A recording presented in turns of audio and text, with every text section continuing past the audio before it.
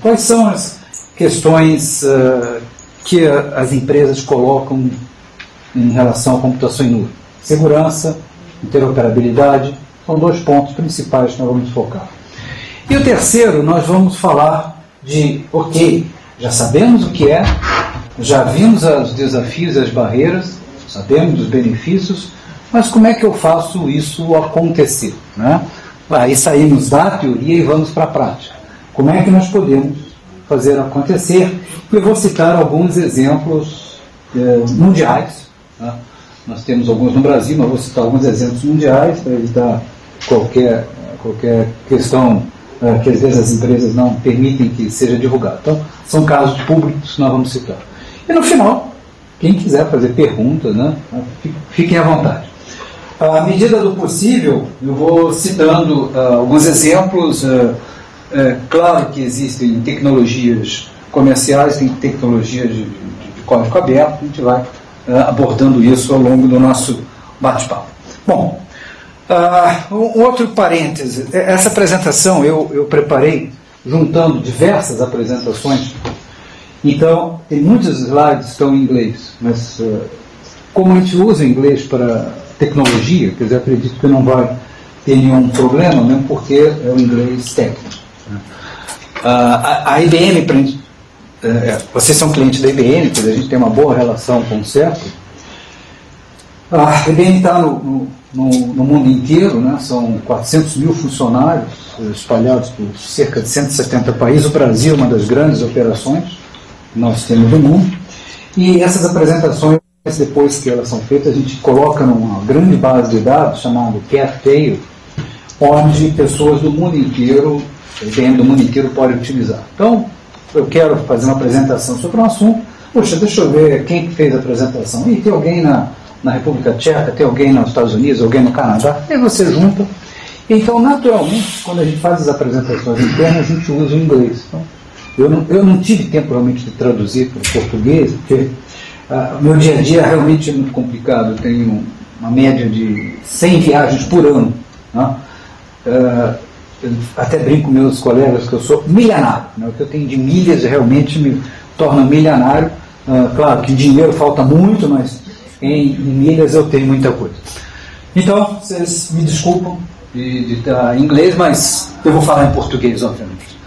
Bom, a questão é a seguinte: quando a gente fala em cloud computing ou computação em nuvem, há muito papo, né? um blá blá blá muito grande sobre o assunto, de pegando, por exemplo, de 2009 para cá, eu devo ter participado aí de uns 20 ou 30 eventos, sem contar inúmeras reuniões e, e, e, e palestras internas para, para clientes e até internamente para a organização, né, para a IBM também. E o que a gente ouve é que tem muita gente falando sobre o assunto, mas não está muito claro ainda o que vem a ser computação em nuvem, quais são os impactos, as discussões ainda. Puxa, isso aqui é é a mesma coisa do que eu fazia antes. Ah, isso aqui, nós vamos ver, não é só virtualização, mas virtualização é componente. Ah, eu já faço isso há 10 anos. Então vamos tirar um pouquinho dessa, dessa aura de mistério né, e colocar as coisas em, no seu devido lugar. Ah, recentemente, eu peguei um dado muito interessante do, de, uma, de uma empresa de análise de indústria, que é o Gartner Group, acho que vocês de TI devem com certeza conhecer, que ele mostra uma coisa muito interessante. Em 2009, 2009, de ontem, Cloud Computing estava assim na, no cantinho da tela do radar dos executivos, né, dos CIOs. Olha, a prioridade, a atenção que eles davam, era quase nada. Ou seja, é uma curiosidade.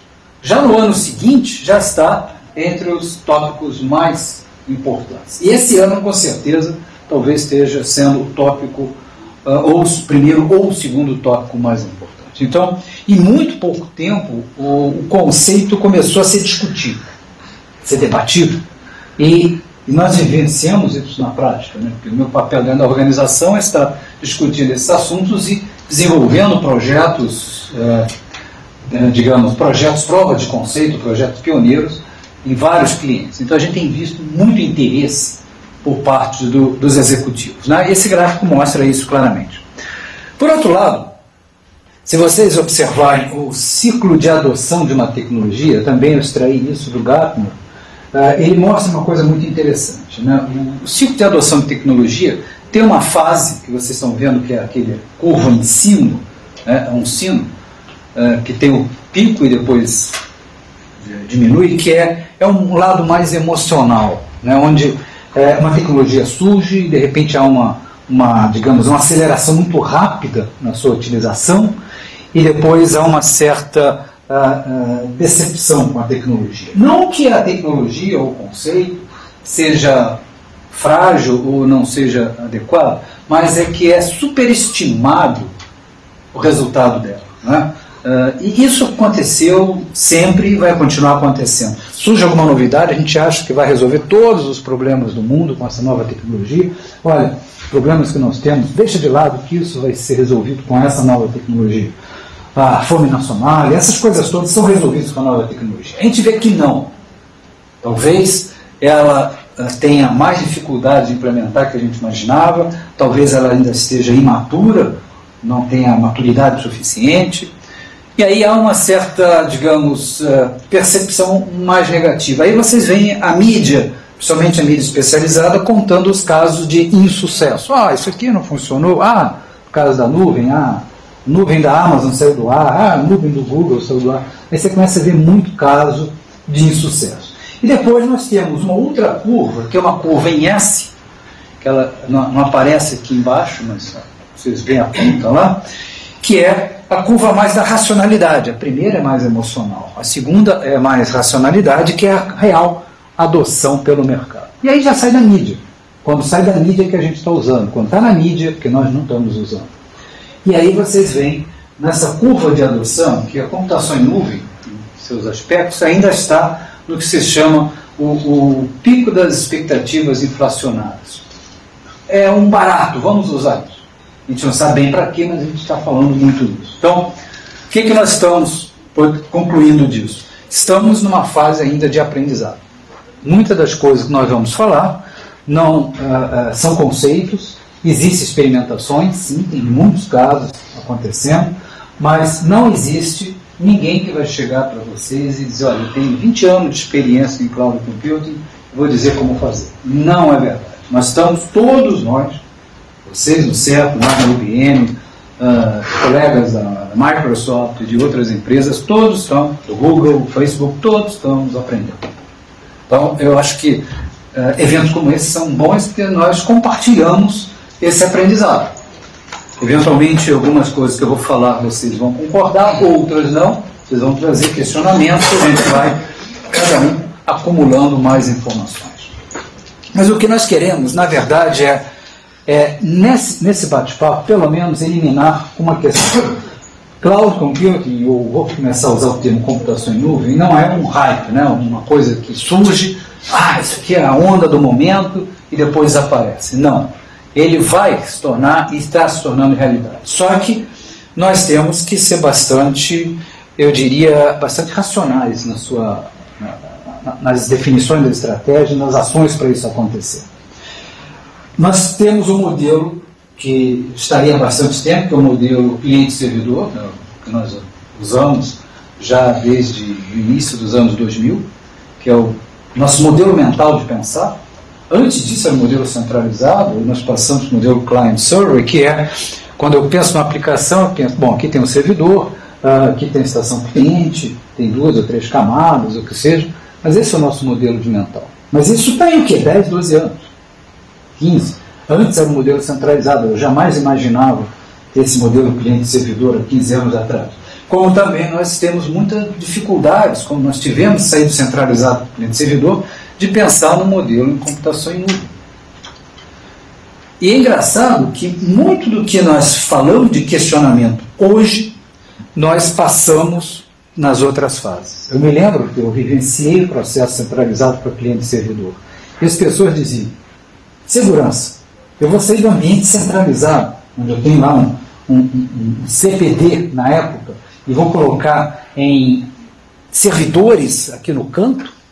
Né? Tem um servidor com Windows, outro com Unix rodando ali. Ah, não tem segurança, não vou fazer isso. Depois chegou a internet, Eu vou colocar cartão de crédito na internet? Não, não vou fazer isso. Questão de segurança, questão de interoperabilidade. Então, tudo que nós temos hoje de, digamos, de, de receios diante do modelo de computação em nuvem, quem vivenciou essa fase viu exatamente as mesmas coisas. Eu cheguei, não, não trouxe hoje, mas eu trouxe, uma vez eu fiz uma apresentação e peguei os slides que eu usava na época quando a gente falava do modelo cliente-servidor, isso em início da década de 90, e mostrei, só troquei cliente-servidor por cloud computing ninguém notou a diferença. Era a mesma coisa. Então, é tudo que surge de novo a esse receio. Claro que uh, uh, existe aí uma certa dose de razão, mas existe também muita percepção uh, errada né, em relação a puxa novo, é, é, é, é inadequado, tem muito risco. Mas nós vamos discutir esses assuntos. O que nós vemos é o seguinte: é um processo de evolução, não é algo que vai acontecer de um dia para o outro. Quando a gente fala em computação em nuvem, não se pode imaginar que chega sexta-feira, nós estamos num ambiente hoje, que nós rodamos os nossos sistemas, e na segunda-feira nós estamos todos trabalhando no ambiente de computação em nuvem. Não. Muitos de nós já usam computação em nuvem em casa e não sabem disso. Quando vocês estão usando Google Mail, quando vocês estão usando o Facebook, quando estão usando o Twitter, vocês estão usando o ambiente de nuvem. As informações que você tem no seu perfil não estão no seu computador, estão na nuvem do, do Google, na nuvem do, do, Facebook e assim por diante. Então nós já estamos usando isso. Né? Então, no fundo, nós não estamos falando de coisas assim tão, misteriosas. O que nós imaginamos é que, e acompanhando o mercado, em 2008 a, a curiosidade era: que negócio é esse? Em 2009 já se começava a fazer projetos pilotos, alguns aqui, outros ali, e o que nós vemos hoje já são muitas empresas no mundo inteiro fazendo uh, experimentações, colocando um projeto em determinado setor por exemplo, em alguns bancos, eu vou mostrar para vocês mais adiante, no ambiente de desenvolvimento e teste, vou mostrar as vantagens disso, ou fazendo algumas aplicações de business intelligence, ou algumas coisas uh, muito específicas. E nós vemos pequenas empresas, ah, e, ah, essas grandes corporações, usam o que nós chamamos nuvens privadas, nós vamos detalhar isso um pouco mais à frente. E pequenas empresas já estão caminhando direto para nuvens públicas, ou seja, Uh, por que eu vou precisar ter pequenos data centers? Eu sou uma empresa pequena, com três ou quatro servidores. Será que eu preciso ter isso? Talvez não, não. provavelmente não. Mas não é um processo que vai acontecer de um dia para o outro, é um processo gradual e nós vamos ver isso. Então, o que nós queremos hoje é, nós estamos analisando a nossa realidade, hoje, que nós temos, Vamos esquecer o hype, o cloud vai ser o que vai mudar o mundo em poucos dias? Não vai. Vai levar algum tempo para isso. Nós vamos encontrar o, o modelo ideal, né? Uh, uh, o modelo da realidade. Como e quando vamos a computação? Bom, com esse pequeno preâmbulo, uh, vamos discutir agora um ponto que eu acho que é importante. Né? Por que, que nós estamos falando de computação em nuvem? Por que, surgiu essa discussão? Porque essa demanda o repensar o atual modelo computacional. O que temos aprendido?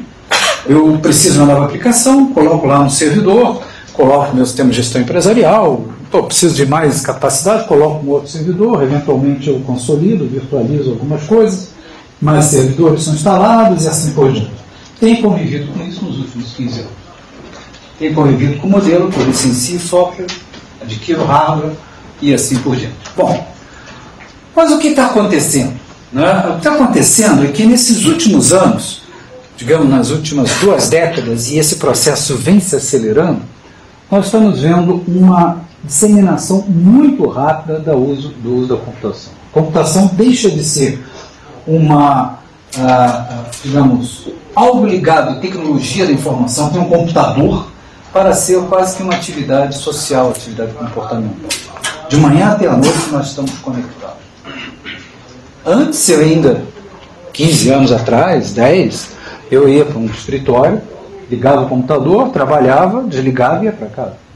Agora eu não vou mais para o escritório, eu trabalho com o meu laptop, eu trabalho com o, o meu smartphone, eu estou conectado 24 horas.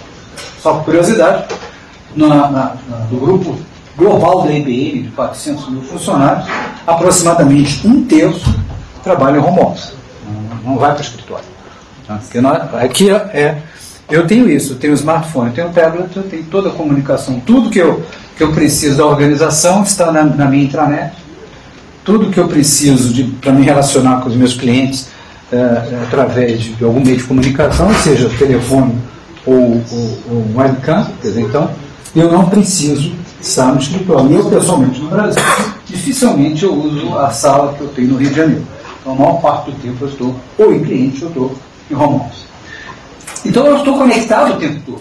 E, além disso, não só eu, mas ah, nós vemos os objetos também se conectando. Cada vez mais, mais e mais inteligência é colocada nos objetos. Então, o que nós temos é, é um mundo cada vez mais instrumentado, conectado, a internet se espalhando de uma forma muito rápida, permitindo novas e novas aplicações. A evolução rápida da tecnologia, que dobra sua capacidade computacional em muito pouco tempo, 18 meses ou menos, e ao mesmo tempo miniaturiza, permite que, que você tenha processadores cada vez menores, cada vez mais compactos, com muito mais capacidade de computação que o da versão anterior. Em menos espaço, eu consigo ter, muitas vezes, o dobro da capacidade. Isso me dá a condição de ter inteligência, ou seja, software se comunicando uns com os outros e com os sistemas em todos os lugares. Então, antigamente, meus sistemas lidavam apenas com ah, sistemas aplicativos. Agora, eu lido não só sistemas aplicativos, mas todas as comunicações que as pessoas têm com a organização, seja do smartphone, do tablet, 24 horas. Então, aumentou. Além disso, os objetos se comunicam também. Se eu tenho condições de, por exemplo, é, vamos pegar dois exemplos: energia elétrica, uma rede elétrica inteligente. Uma rede elétrica inteligente com medidores inteligentes, que você pode medir em tempo real ah, o consumo de eletricidade e com isso você, é, é, inclusive, tem uma variação da cobrança do megawatt hora, dependendo da hora que você está utilizando. Aqui no Brasil são cerca de 65 milhões de medidores, analógicos, alguns eletromecânicos. E uma vez por mês se tira essas informações para processar e enviar fatura. Imagine que você tem agora um medidor elétrico, é, é, que é um computadorzinho, que a cada 15 minutos manda informação. São quatro informações por hora, 96 por dia, simplificando 100. Então, 30 vezes 100, 3 mil nós temos 3 mil vezes mais informações que nós tínhamos antes. Ou seja, uma coleta, uh, uma informação mensal vale tem 3 mil informações. Isso apenas na rede elétrica. Os carros mandando informações de, com, de como o motorista está dirigindo, como vai ser obrigatório no Brasil você ter o transponder, em outros países já existe, significa que eu consigo, eu numa empresa de, segura, de seguros, é, é, monitorar o comportamento do, do como o veículo é dirigido e fazer uma pólice específica para o tipo de direção que ele tem. É mais flexível, ele é mais agressivo. Então, em vez de ter um plano padrão, é um volume de informações mais, mais intenso. Então, isso é um processo que está acontecendo.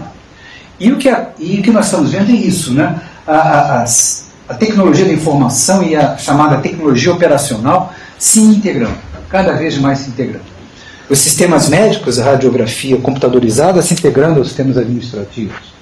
Os, os, computadores estão nos veículos de bordo falando com os sistemas administrativos.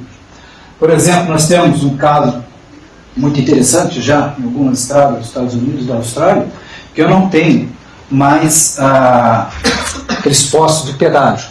Os veículos têm um, um transponder, uma etiqueta eletrônica, então na hora que ele entra na estrada, a leitora reconhece que o veículo entrou na estrada, a hora que ele sai, a leitora reconhece que ele saiu. Então eu tarifo pela quilometragem que ele percorreu na, na rodovia, sem ter que passar por um posto de, de, pedágio, que tem engarrafamento, essas coisas todas. Isso agiliza muito, mas por outro lado gera muita informação.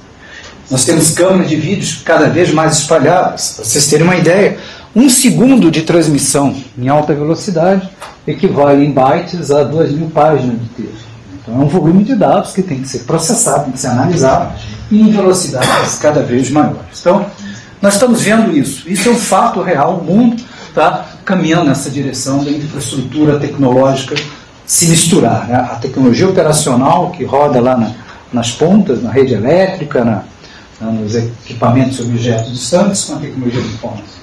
Isso gera uma demanda muito. O mundo também está conectado. Cada vez mais nós temos pessoas ligadas à internet. E, e, usamos intensamente a internet, usamos mídias sociais com intensidade cada vez mais frequente. As mídias sociais elas não são simples sites de você estar é, dizendo o que você vai fazer, o que você vai fazer no fim de semana, mas o Facebook, por exemplo, é uma plataforma de comunicação, colaboração, desenvolvimento. Não tenho o número exato, mas estima-se que existam mais de 400 é, milhões, de, ou 400 mil desenvolvedores escrevendo código para o Facebook. O Twitter, por exemplo, atingiu a, mês passado, uh, se não me engano, 10 milhões de aplicações, é uma plataforma também de comunicação. Cerca de 5% do comércio eletrônico nos Estados Unidos já começa e termina pelo Facebook. O antigo uh, gestão de relacionamento com cliente, o CRM, que é uma sigla que muitos de vocês devem conhecer, já passou para o Social Commerce, uh, Social CRM. Uh, nós estamos falando de Social Commerce, já tem várias empresas trabalhando nesse contexto. Nós estamos falando de Social Business, as empresas cada vez mais interconectadas, nós somos colaborativos por excelência, usando mídias sociais. E aqui está o exemplo da, do quanto se dedica de tempo à mídia social. Né? Quer dizer, então, e o volume é muito grande de informação para tratar. Né? Então, cada vez mais nós vemos que estamos é, consumindo o nosso tempo nas mídias sociais. E se nós olharmos em termos de números, embora esteja desatualizado, o Facebook hoje são 750 milhões de usuários, hoje o Facebook já é o terceiro país do mundo em população, né, se a gente comparasse ele como fosse um país. A Índia, a desculpa, a China, a Índia e o Facebook. Provavelmente daqui a uns 3, 4 anos, o Facebook vai ser o maior país do planeta, vai ter mais Facebookianos do que chineses aqui no planeta. Então isso não vai demorar muito. E uma coisa interessante, a idade média hoje do usuário do Facebook já está em 38 anos. Então, ah, não é só a garotada de 16 anos, a geração digital, que já nasceu com a internet, mas a sociedade já está se interligando a esse mundo. E esse mundo é cada vez mais móvel. Cada vez mais temos mais e mais pessoas utilizando a dispositivo móvel, e esse dispositivo móvel está se tornando cada vez mais sofisticado, é um verdadeiro computador. O próprio Brasil estima-se que mais dois a três anos vai ser talvez o terceiro mercado do mundo em smartphones, perdendo para os Estados Unidos para a China, mais do que a Índia, inclusive. O que é um smartphone? É um computador que tem várias funções muito sofisticadas. E essas funções mais sofisticadas vão se sofisticando nos próximos anos. Lembra-se, a capacidade computacional dobra a cada 18 meses. Cada seis meses já aparece um novo celular ou um novo smartphone. Então, recursos cada vez mais sensoriais vão ser embutidos como interfaces. Então, isso é um fato que está acontecendo e está nos permitindo pensar em novas maneiras né, de, de, das organizações funcionarem gente está falando aí de, do trabalhador móvel e o próprio conceito do, do trabalho. Né? O trabalho não é no local. Eu não vou ter para trabalhar me deslocar para um local. Vou fazer o quê? Para chegar, ligar um computador, trabalhar, acessar informação, depois ligar e ir para casa? Ué, essa informação que está nesse computador pode estar no meu laptop, tá? pode ser acessado pelo meu tablet, pode ser acessado pelo meu smartphone. Capacidade computacional, comunicação de dados, tudo isso pode aqui e ali ainda ser um gargalo, mas ao longo do tempo, e muito pouco tempo, vai ser eliminado. Então, nós estamos caminhando em direção a esse cenário. Isso tudo faz o seguinte: que a internet torna-se algo que cresce, e quando eu falo crescer, isso gera muita informação, muita necessidade de tratar informação, velocidade para você reagir às novidades que estão surgindo. Quer dizer, então tem volume e velocidade, isso acontecendo de forma muito. Só para vocês terem uma ideia, e esses dados estão defasados, então eu vou falar números mais atuais. É um site na internet que ele te dá uma estimativa do que acontece de movimento na própria web durante um determinado período de tempo. Então vamos pegar é, um período pequeno, um minuto. E um minuto na internet ocorre mais ou menos isso. Vou atualizar os números, que isso aí eu peguei algum tempo atrás. Mas quase 700 novos posts são colocados, cerca de 700 membros do, são adicionados no Facebook por minuto, uh, 35 mil ou mais tweets são enviados no Twitter, quase 700 mil vídeos são vistos no YouTube, cerca de 21, talvez hoje 22 horas são upload no YouTube e assim por diante. Isso num único minuto. No minuto seguinte, esse número é um pouquinho maior, porque mais gente se conectou à, à internet, mais gente teve acesso à telefonia celular e está se comunicando na internet. Então, esse é o mundo que nós estamos vivenciando e esse é o mundo que gera um volume de dados absolutamente impressionante, que tem que ser tratados, tem que ser, é, tem que ser é, digamos, manuseados. Então, hoje, a cada dia, cerca de 15 petabytes são gerados no mundo inteiro. E esse número cresce. Esse número está crescente. Então, daqui a pouco nós não vamos mais falar em petabytes de informação por dia, nós já vamos falar em zettabytes de informação por dia.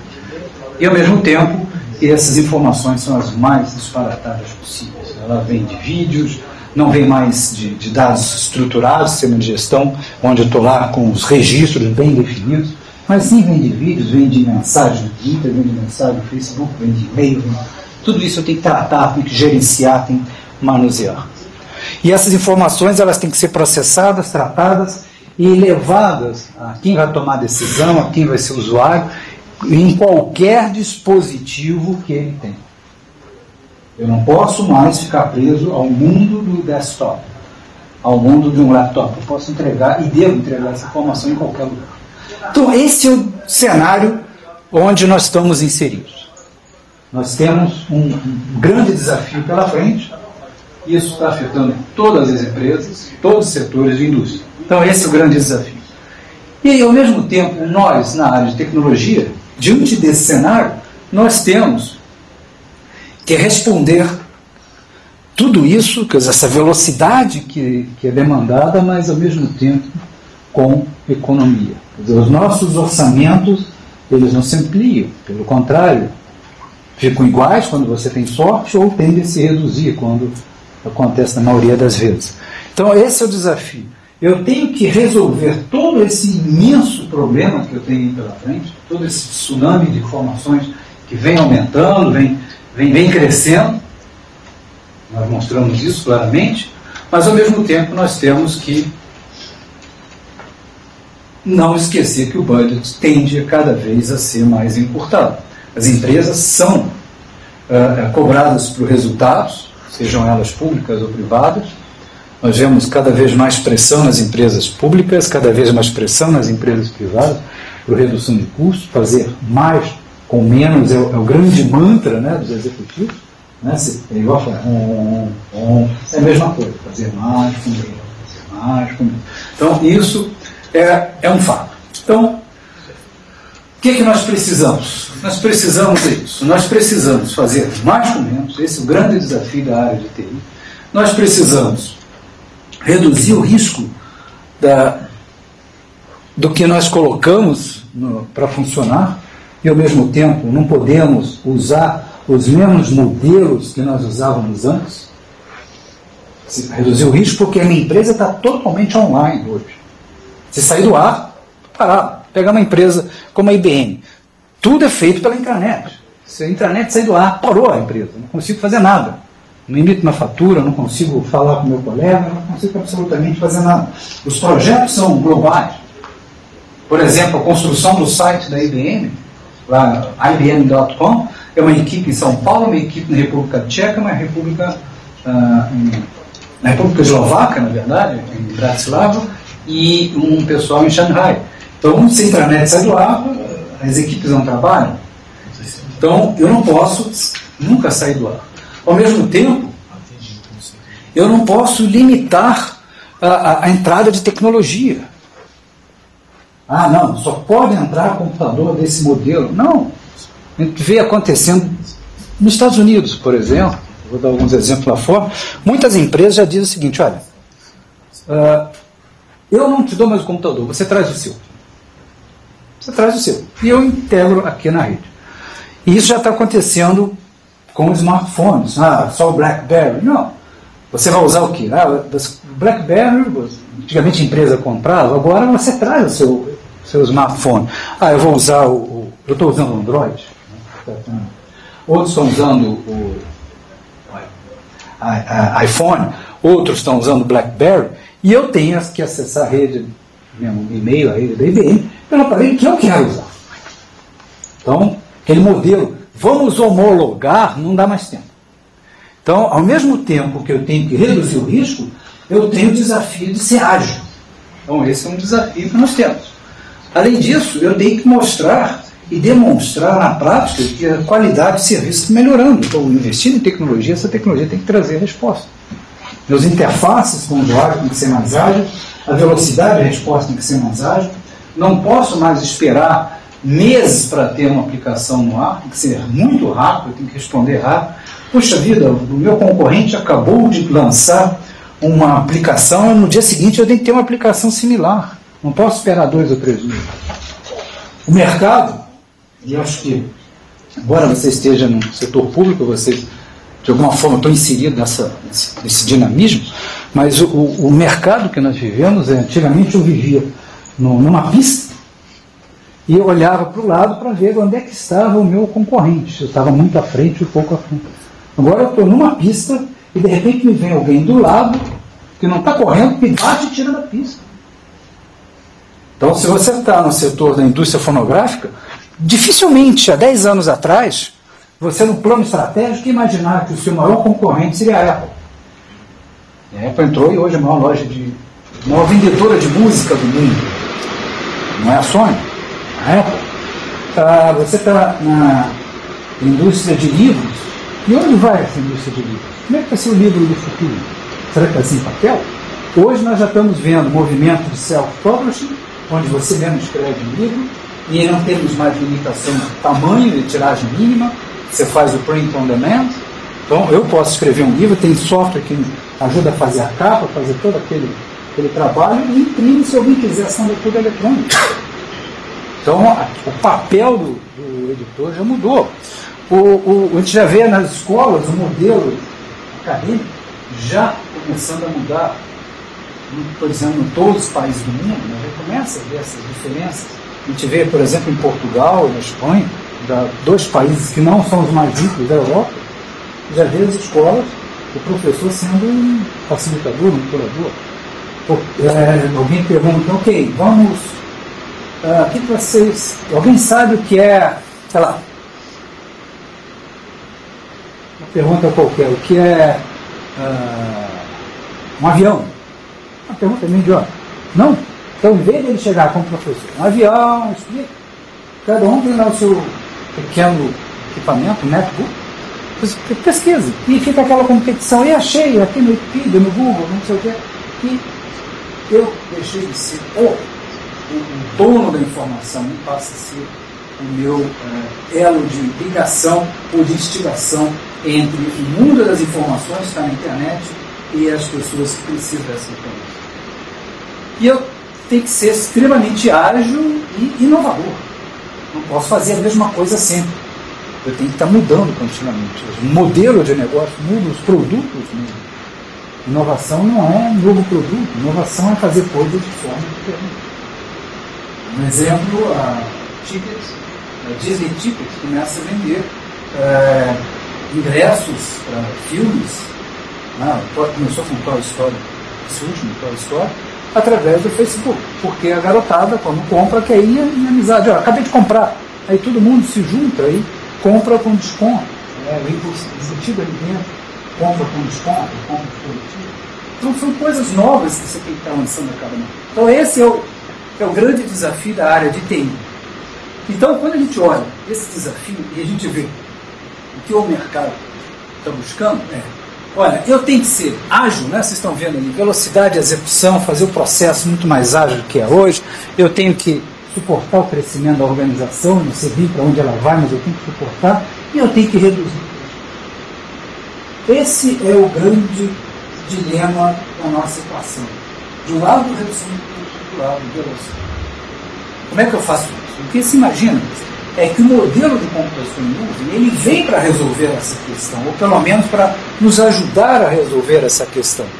Eu consigo, e eu vou mostrar agora por quê, uh, me liberar de muitas atividades que não me agregam valor para me concentrar nas atividades mais importantes?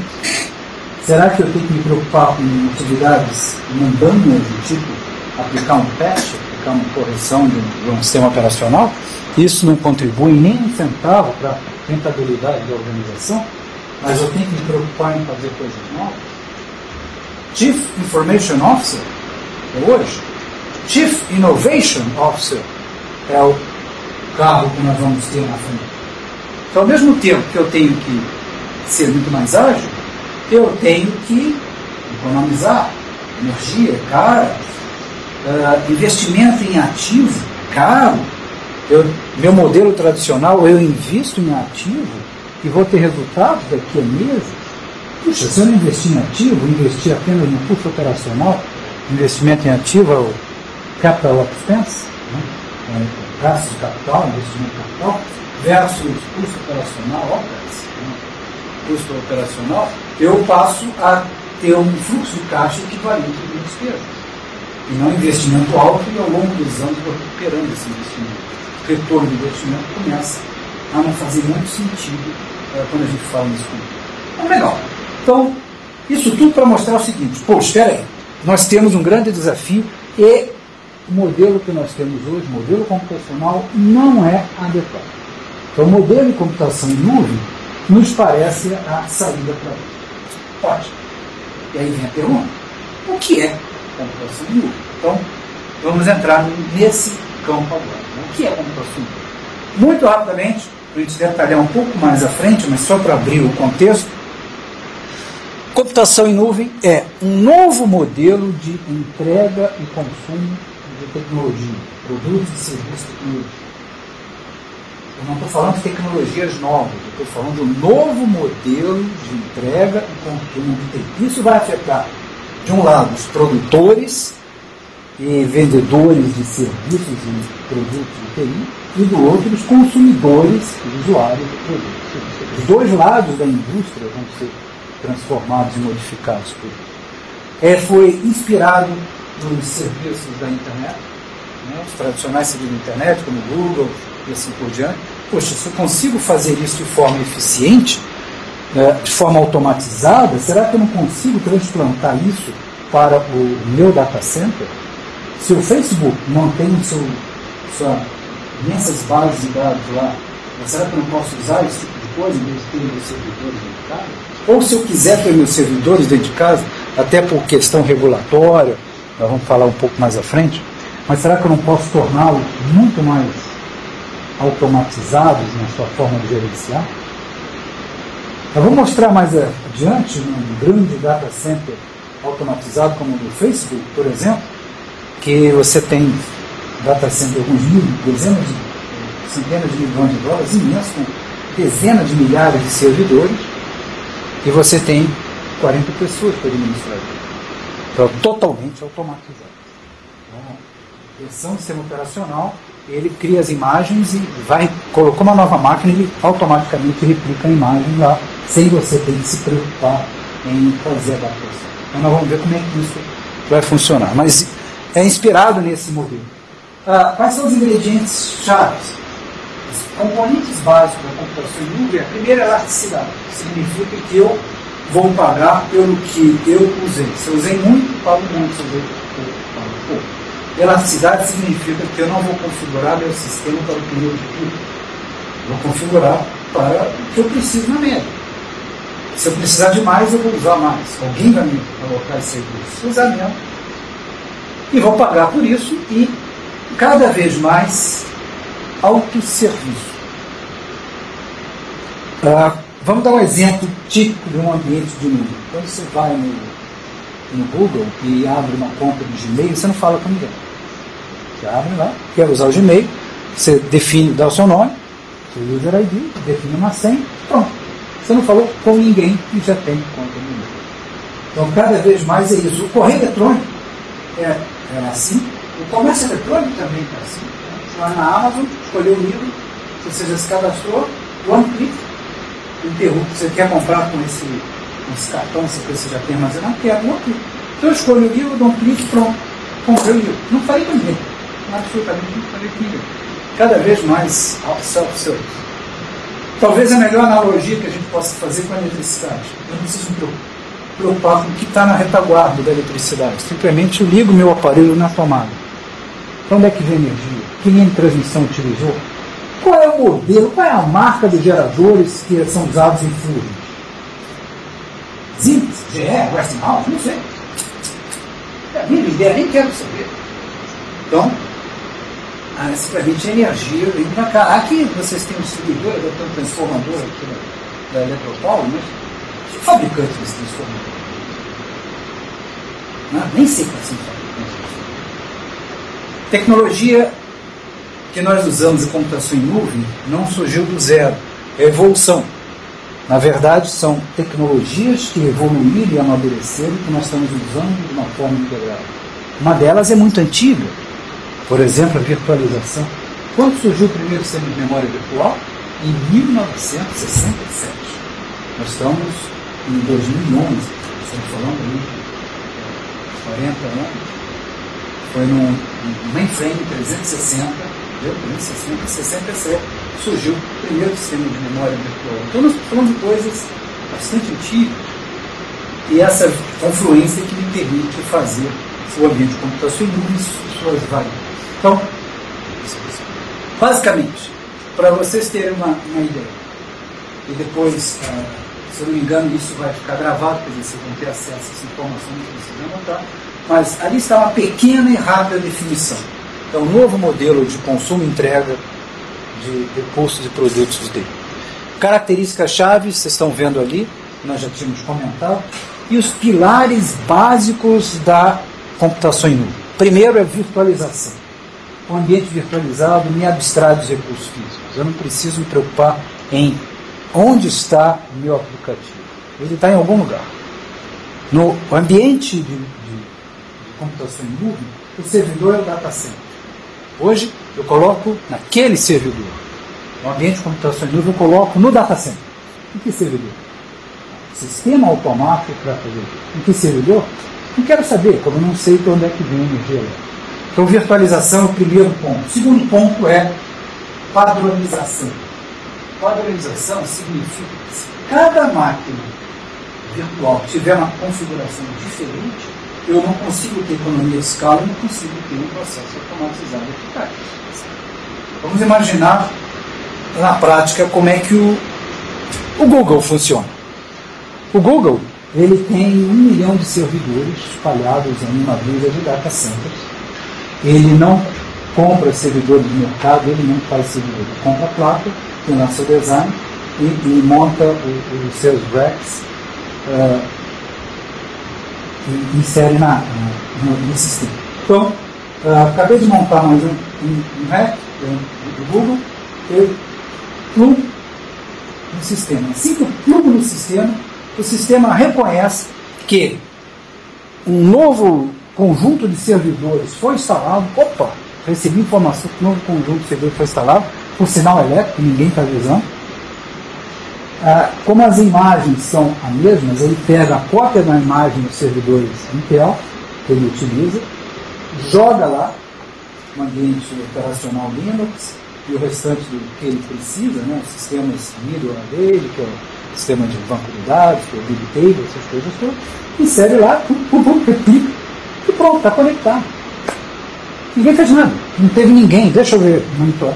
Não, simplesmente plugou e automaticamente fez. Então, por que, que ele fez isso? Porque o processo é baseado em padronização.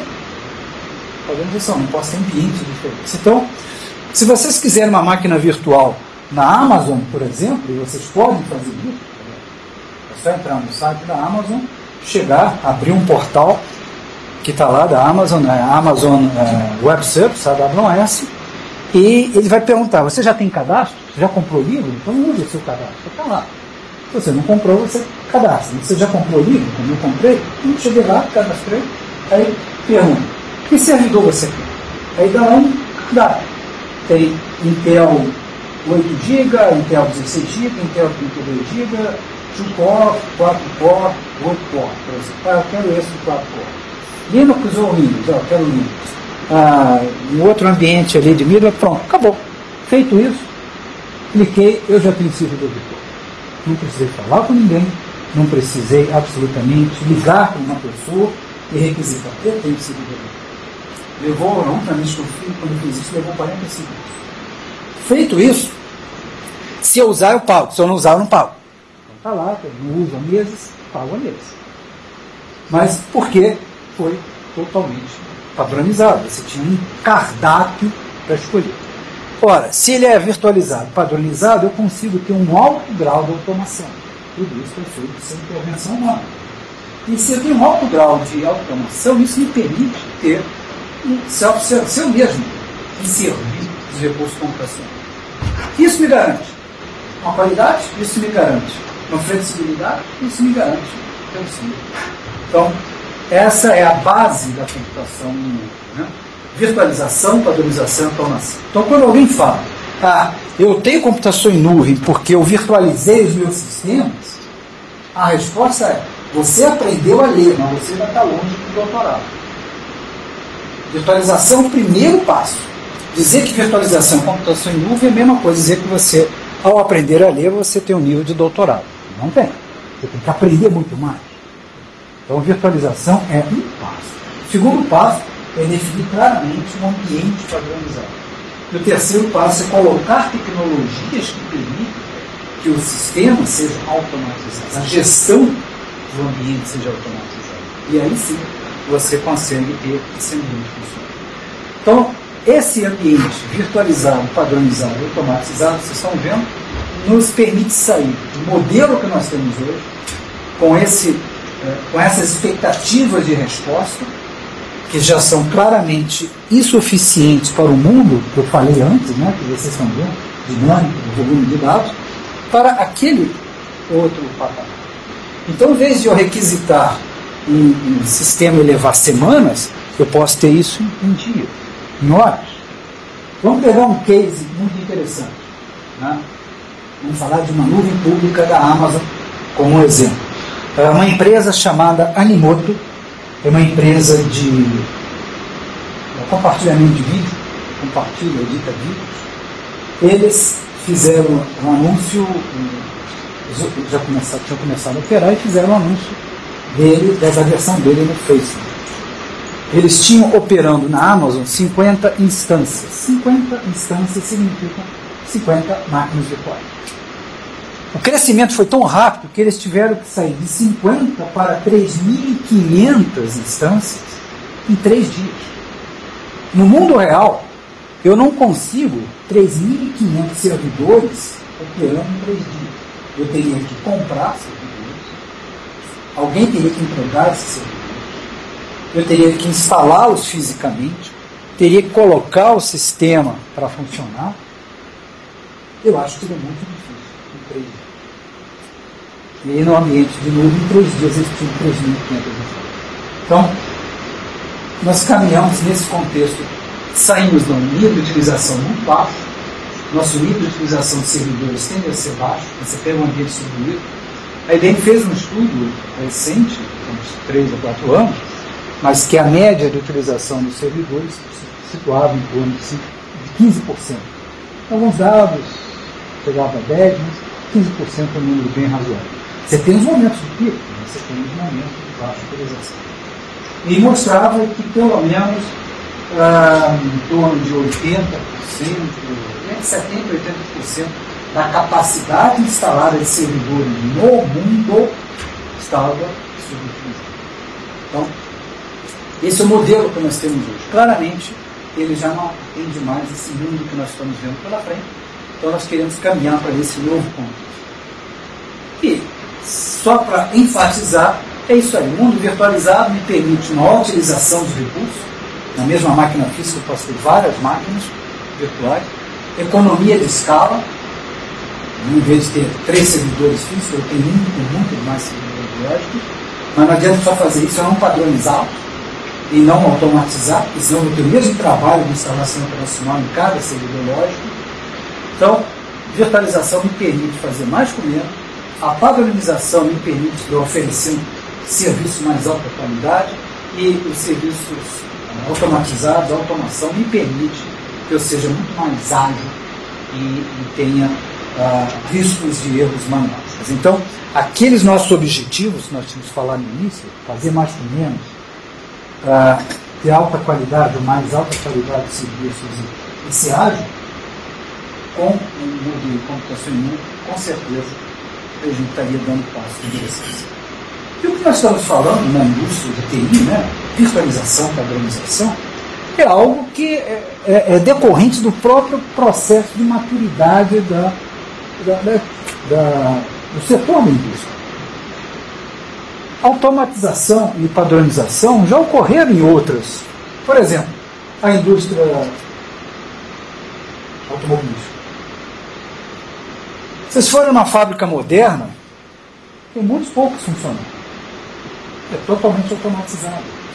Tudo padronizado. Você tem cada vez mais padronizado. Você tem, ah, digamos, um chassi básico e a carroceria, quer dizer, desenho da carroceria é diferente. Mas o chassi básico é o mesmo. Em cima daquele pequeno, médio grande, você faz várias combinações de veículos. Então não, não é cada sai do zero. Então, grande parte do que você tem no carro é igual ao outro. O que muda é o design si. A indústria automobilística faz isso. Uma linha de produção, se vocês pegarem, por exemplo, pegar uma fábrica de caminhões da Volkswagen recente, a linha de produção totalmente automatizada, uh, cada uh, parceiro de negócio tem lá o seu, eles chamam moduleiro, o sistema, o sistema de câmbio, o sistema uh, de freios, cada um é responsável por isso, e lá no final tem um funcionário da Volkswagen que coloca o logotipo. Então toda a linha de montagem é automatizada e os funcionários, poucos estão lá, são das empresas parceiras, não tem quase funcionários da Volkswagen no processo. Então, a indústria automobilística já faz isso. A indústria de telecomunicações já faz isso. Os bancos já fazem isso. O banco hoje é automático. Grande parte do processo totalmente automatizado. Você vai no caixa automático, tira dinheiro, faz pagamento, faz transferência, ou vai, fica na internet, não tem ninguém ali. Totalmente automatizado. Então, essas coisas estão já acontecendo em outras indústrias e está chegando no momento aqui indiscutivelmente, a TI, deixa eu voltar aqui, a TI é que permitiu isso. Por que, que ela, ela em si ia ficar fora? Então aqui está o que eu falei para vocês. Aqui está o, o data center, um dos data centers do Facebook. Um investimento grande, 480 milhões de dólares. Tem aí algumas dezenas de milhares de servidores e cerca de 40 pessoas, 42 pessoas para exato, administrando todo esse sistema.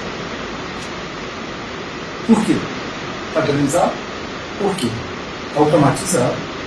E você absolutamente não precisa interagir com ninguém para esse serviço funcionar. Exatamente como estou falando aqui, como todas essas indústrias. Então, então nós estamos dando os primeiros passos na direção do mundo ou do paradigma da computação em não vai acontecer de um dia para o outro, mas nos próximos anos, talvez durante essa década, esse modelo vai se consolidar e vai ser um modelo é, primordial, fundamental da computação. Como hoje o nosso modelo mental é cliente-servidor, nós pensamos cliente-servidor, daqui a 10 anos a gente vai pensar em computação. Talvez o nome Cloud Computing deixe de existir, e vai ser computação. O cloud não tem sentido. Vai ser a maneira da gente usar. Vai ser assim que a gente vai usar. Então nós vamos sair desse mundo para esse mundo. Bom, vamos agora pegar isso e detalhar um pouco mais. Né? Quer dizer, então a gente já viu, pô, vamos para a computação em nuvem, esse é um cenário, está caminhando nessa direção.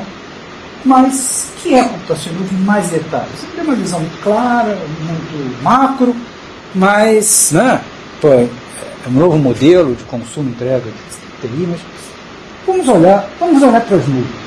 Quando a gente olha para o céu, o que, que a gente vê? Vários tipos de nuvens, como, como Linux, círculos, estratos, são diferentes. Umas são nuvens de tempestade, outras são de alta, ah, são aquelas estrias, né? onde tem formadas por vento de alta velocidade, que são prenúncio de frente frio. Né? Se você olha aqueles círculos, assim, 48 horas depois, você sabe que ali os ventos, geralmente no hemisfério sul, vem do sudoeste, quer dizer, é, é prenúncio de frente fria. Opa, já tem frente fria chegando. Então, parênteses. Eu falo essas coisas porque eu comecei a carreira como piloto comercial. Né? Fui reprovado na Vale no exame de vista, e aí não queria ficar voando táxi aéreo, voando, então vou entrar nesse negócio de computador, e aí eu entrei nesse negócio de computador. E foi nessa época que eu estudei muito né? clima, né? que é importante, você, é, principalmente voava avião pequeno, você eu conhecer meteorologia a fundo. Né? Então, essas coisas são interessantes. Então, por exemplo, vocês estão na estrada, estão vendo a trovoada longe, vocês veem raios caindo na vertical, você em frente para trovoada, vocês veem horizontal, você indo para a retaguarda, está se afastando deles. Então, são macetes que se aprende no dia a dia da aviação e que volta e uso como exemplo. Né? Então, quando a gente fala em computação em nuvem, a nuvem é diferente uma da outra. A mesma coisa, quando você olha a computação em nuvem, não é uma coisa única. Nós podemos olhar as nuvens e analisá-las sobre duas, duas variáveis, né? dois aspectos, duas vertentes. Uma é o nível de abstração, ou seja, quão distante eu estou do recurso físico. Essa distância do recurso físico, nível de abstração, é essa classificação que nós vamos falar. O nível mais baixo de abstração é o que nós chamamos de infraestrutura como serviço. Exemplo, a Amazon. Ou o ambiente de open source, para vocês terem, Eucaliptus, Open Nebula, são dois exemplos de infraestrutura como service open source. O que, que significa isso? Significa que você não tem que se preocupar com armazenamento, storage ou servidores. Você entra naquele portal, quiser entrar, vá na Amazon uh, e cria um servidor. Qual servidor você quer? Dell, Linux, tantos megabytes. Pronto. Aonde está? Em algum data center da Amazon. Você não tem que se preocupar com isso. Em algum data center da Amazon. Mas eu não me preocupei aonde está o servidor. Me preocupei em simplesmente é, reservar esse recurso. Então, nós falamos aí de infraestrutura como serviço. Bom, o nível de abstração um pouco mais alto. Nesse nível de infraestrutura, eu tenho que colocar o banco de dados. Eu tenho que colocar o middleware. Mas vamos imaginar que eu quero me abstrair mais ainda. Eu não quero me preocupar com isso, eu quero escrever o programa. Agora, que banco de dados? Um exemplo, a nuvem do Google, uh, Google Application Engine, GI. Você escreve um programa em, em Python, por exemplo, em Java, e fez o programa, testou e faz um upload na nuvem do Google. Qual banco de dados você está usando? É o do Google. Qual servidor você está usando? É o da, do data center ou dos data center. Desculpe, do Google. Então, plataformas a service tem debaixo dele infraestrutura como serviço. Vamos imaginar que eu queira um nível de abstração maior ainda. Eu não quero nem me preocupar em escrever o programa, eu quero o programa pronto. Como eu faço hoje para fazer o download de um aplicativo da, da Apple ou do Android? Vou no Android Market e baixo o aplicativo. Que linguagem foi escrito? Como é que ele funciona? Só, só tem uma interface, o resto eu não quero saber. É o que nós estamos falando. Sales, Salesforce é um exemplo onde você contrata o software, você paga pela sua utilização, ele roda na nuvem do Salesforce, o sistema CRM, né? Customer Relationship Management, relacionamento com o cliente, você não precisa saber aonde está, você não precisa saber absolutamente que banco de dados e que linguagem foi Você simplesmente interage com ele. Não tem que instalar na sua máquina, não tem que fazer absolutamente nada. Então, esse é o primeiro nível de classificação de nuvem. É nível de abstração. Então, a nuvem pode ser infraestrutura, plataforma ou Segundo nível de abstração. A nuvem pode ser ou pública, como a Amazon, onde qualquer um de vocês e qualquer empresa do mundo pode utilizar, ou ela pode ser privada. Eu quero ter uma nuvem o ambiente de nuvem, mas dentro de casa. Porque, por exemplo, eu posso ter ah, aspectos regulatórios que me impedem de usar uma nuvem pública. Eu sou um banco, eu sou ah, responsável pela lei, tem vários aspectos regulatórios do banco, ah, de auditoria, etc., etc., que me obrigam a ter um controle direto sobre as informações. Então, ele tem que estar no meu controle direto, no meu data center, ou no data center de alguém, mas com servidores meus reservados. Não é exatamente naquele, mas é naquele conjunto. Mas é meu. Então, é separado. Eu posso ter uma nuvem privada. E eu posso ter os dois. Posso ter híbrido, um pouco público, um pouco privado, comunitário. Várias empresas se organizam para criar uma nuvem, mas só para elas, como se fosse uma extranet. Né? Então, eu tenho essas várias alternativas.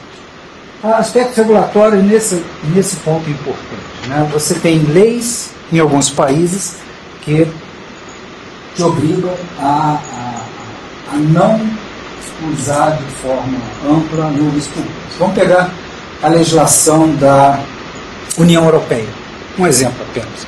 Na União Europeia, a legislação diz que dados do cidadão europeu, como por exemplo dados que troca em caixa postal, tem que estar no território da União Europeia ou num país que tenha um acordo jurídico, um acordo válido, legal, compatível com os níveis de segurança e risco que eles definem claramente na legislação, diretiva da União Europeia, para você poder hospedar os dados. Então, por exemplo, a IBM tem um cliente que é uma empresa do Rio Grande do Sul, que tem um data center, faz a terceirização ao seu data center, e essa empresa comprou uma empresa na Espanha. A cópia, a, a, a base da caixa postal dos funcionários dessa empresa brasileira que está na Espanha, dos funcionários espanhol, tem que estar na Espanha. Eu tenho a cópia no Brasil, mas fisicamente eu tenho que ter essa, essa cópia na Espanha. Então, isso é um indicativo né, que você, em algumas, situações, você não pode colocar numa nuvem pública, tem que colocar numa nuvem privada. Então, daí que você tem essas várias ah, alternativas. Então, somando tudo isso, eu posso ter nuvem como, como infraestrutura, como plataforma, como serviço, nível de abstração, e variando de pública a privada. Bom, então, isso aí então, já explica o que é computação em nuvem é uma mudança significativa que não vai acontecer de um dia para o outro. Isso vai levar algum tempo, a gente imagina que nos próximos 5 a 10 anos isso vai acontecer como as ondas aconteceram, as ondas de mudança aconteceram ao longo do tempo. Nós saímos do ambiente centralizado para o ambiente cliente-servidor, depois entrou a web, todas as questões, questionamentos que nós tivemos, estamos no ambiente computacional e as mudanças vão ser significativas, só que isso tudo vai estar na, na, na, na gravação, então vocês vão poder rever isso com mais Eu só queria chamar a atenção que hoje, quando nós começamos a falar de computação nuvem, muitas vezes nós tentamos fazer as analogias com o que nós conhecemos. É normal. Nós pegamos, por exemplo, a indústria automobilística, quando os primeiros carros surgiram, carruagem sem cavalo, nome que se dava, você pegava carruagem, pegava os primeiros automóveis, vocês estão vendo que eram absolutamente iguais, só não tinha um carro, só não tinha um cavalo. Eu, eu não sabia fazer de outra maneira.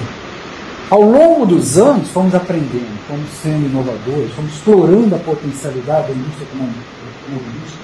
Novas, novos motores surgiram, ah, mecânicas evoluíram, né? a ciência, a engenharia mecânica eu comecei a ter novos designs, carros elétricos, carros híbridos e assim por diante. E provavelmente no futuro eu posso pensar em carros bem diferentes para pessoas, inclusive, que possam é, levitar, não precisam de roda, não precisam do atrito físico, que é, demanda muita energia. Então, é isso que nós imaginamos termos computação. É, se nós olharmos para 5 a 10 anos à frente, nós estamos no estado primitivo. Significa que há 10 anos atrás, quando eu olhasse para cá, eu ia, pô, em 2011 os caras faziam isso, pensavam assim, faziam assim computação em nuvem, que primitivo. Como hoje, a gente olhar para 10 anos atrás, em 2001, eu não tinha iPhone, eu não tinha Facebook, não tinha nada, eu pensava, pô, mas a TI era bastante primitiva, não fazia nada. Então, é isso que nós temos para. Bom, esgotamos o primeiro passo. Não fiquem preocupados que eu não vou ficar com vocês mais do que uns 40 minutos, né? Mas vamos agora no segundo passo. Puxa vida! Computação em nuvem é um negócio legal, né? vai trazer grandes benefícios, mas por que, que todo mundo ainda não foi? Quais são as dificuldades? Então vamos falar um pouquinho sobre isso, os questionamentos que nós temos e as barreiras. A primeira, se você fizer uma pesquisa, várias pesquisas foram feitas, essa de 2009, mas está valendo para hoje, quais são as grandes questões que você levanta ao discutir computação? Primeira, segurança. Segurança. Todo mundo levanta a mão, segurança. Privacidade do dado. Depois tem outras. A qualidade de serviço. Será que tem qualidade de serviço? Por exemplo, quando eu uso uma nuvem pública, nuvem pública da Amazon lá me garante uma qualidade de serviço, veja, mas passa pela internet, garantia eu tenho na internet. Quem são os meus provedores de comunicação? Né? É outra empresa, que não é a Amazon, é uma empresa no Brasil, então eu tenho que juntar tudo isso para ter um nível de serviço. Então tem essas questões todas. Ah, será que realmente eu economizo ao longo do tempo? Ok, não estou investindo em capital, estou investindo em custo operacional, mas será que ao longo do tempo não vale a pena eu investir em capital e ter uma nuvem própria? Vamos dar um exemplo. O Facebook, quando começou, ele não tinha um data center, ele usava o data center de um provedor de nuvem pública, onde ele operava o seu sistema. Cresceu tanto, chegou a 700 milhões, 750 milhões de usuários, que o custo de manter ele como cliente numa nuvem pública estava muito alto. Era mais barato, mais econômico fazer o custo, uma análise de crescimento que eles fizeram, construir seu data center, mostrou a foto, e rodarem o seu sistema no seu próprio data center. Ele passou a ser uma nuvem privada, uma nuvem dele. Não tem mais ninguém compartilhando aquela nuvem, só ele. Os usuários, nós somos usuários do Facebook, mas a nuvem é do data center do Facebook. Então chegou um momento que é mais barato do que o seu data center. Então questão de custo benefício tem que ser analisado ao longo do tempo. Vamos falar um pouquinho então da, da segurança. A questão da segurança tem muito de percepção, né? que as pessoas falam, poxa, mas será que eu vou colocar na Amazon, eu vou colocar no data center da IBM, que tem segurança? Bom, nós já fazemos outsourcing de empresas há mais de 50 anos. Nunca houve um caso de, de vulnerabilidade no data center da IBM. Então, é seguro, é. Uma grande corporação, como banco, como o incerto, tem política de segurança, tem administração de segurança, eu tenho a garantia de segurança que pode manter uma nuvem privada. Claro, a nuvem privada vai funcionar debaixo da política de segurança que você tem. Mas você for uma empresa pequena, armazéns Joaquim e família, não há três servidores rodando isso, que segurança será que Pequeno. Muito pequeno. Se ele colocar isso numa nuvem pública, a segurança dele vai ser muito maior imensamente maior. Então, essa percepção de insegurança varia. Só porque eu tenho servidor na esquina, ele é mais seguro que o outro, que está dentro de casa? Não. A faxineira vai e derruba o sistema. Ah, as senhas que o sujeito colocou estão lá há três anos. Então, é fácil de, de entrar sistema. Já na Amazon vai ser.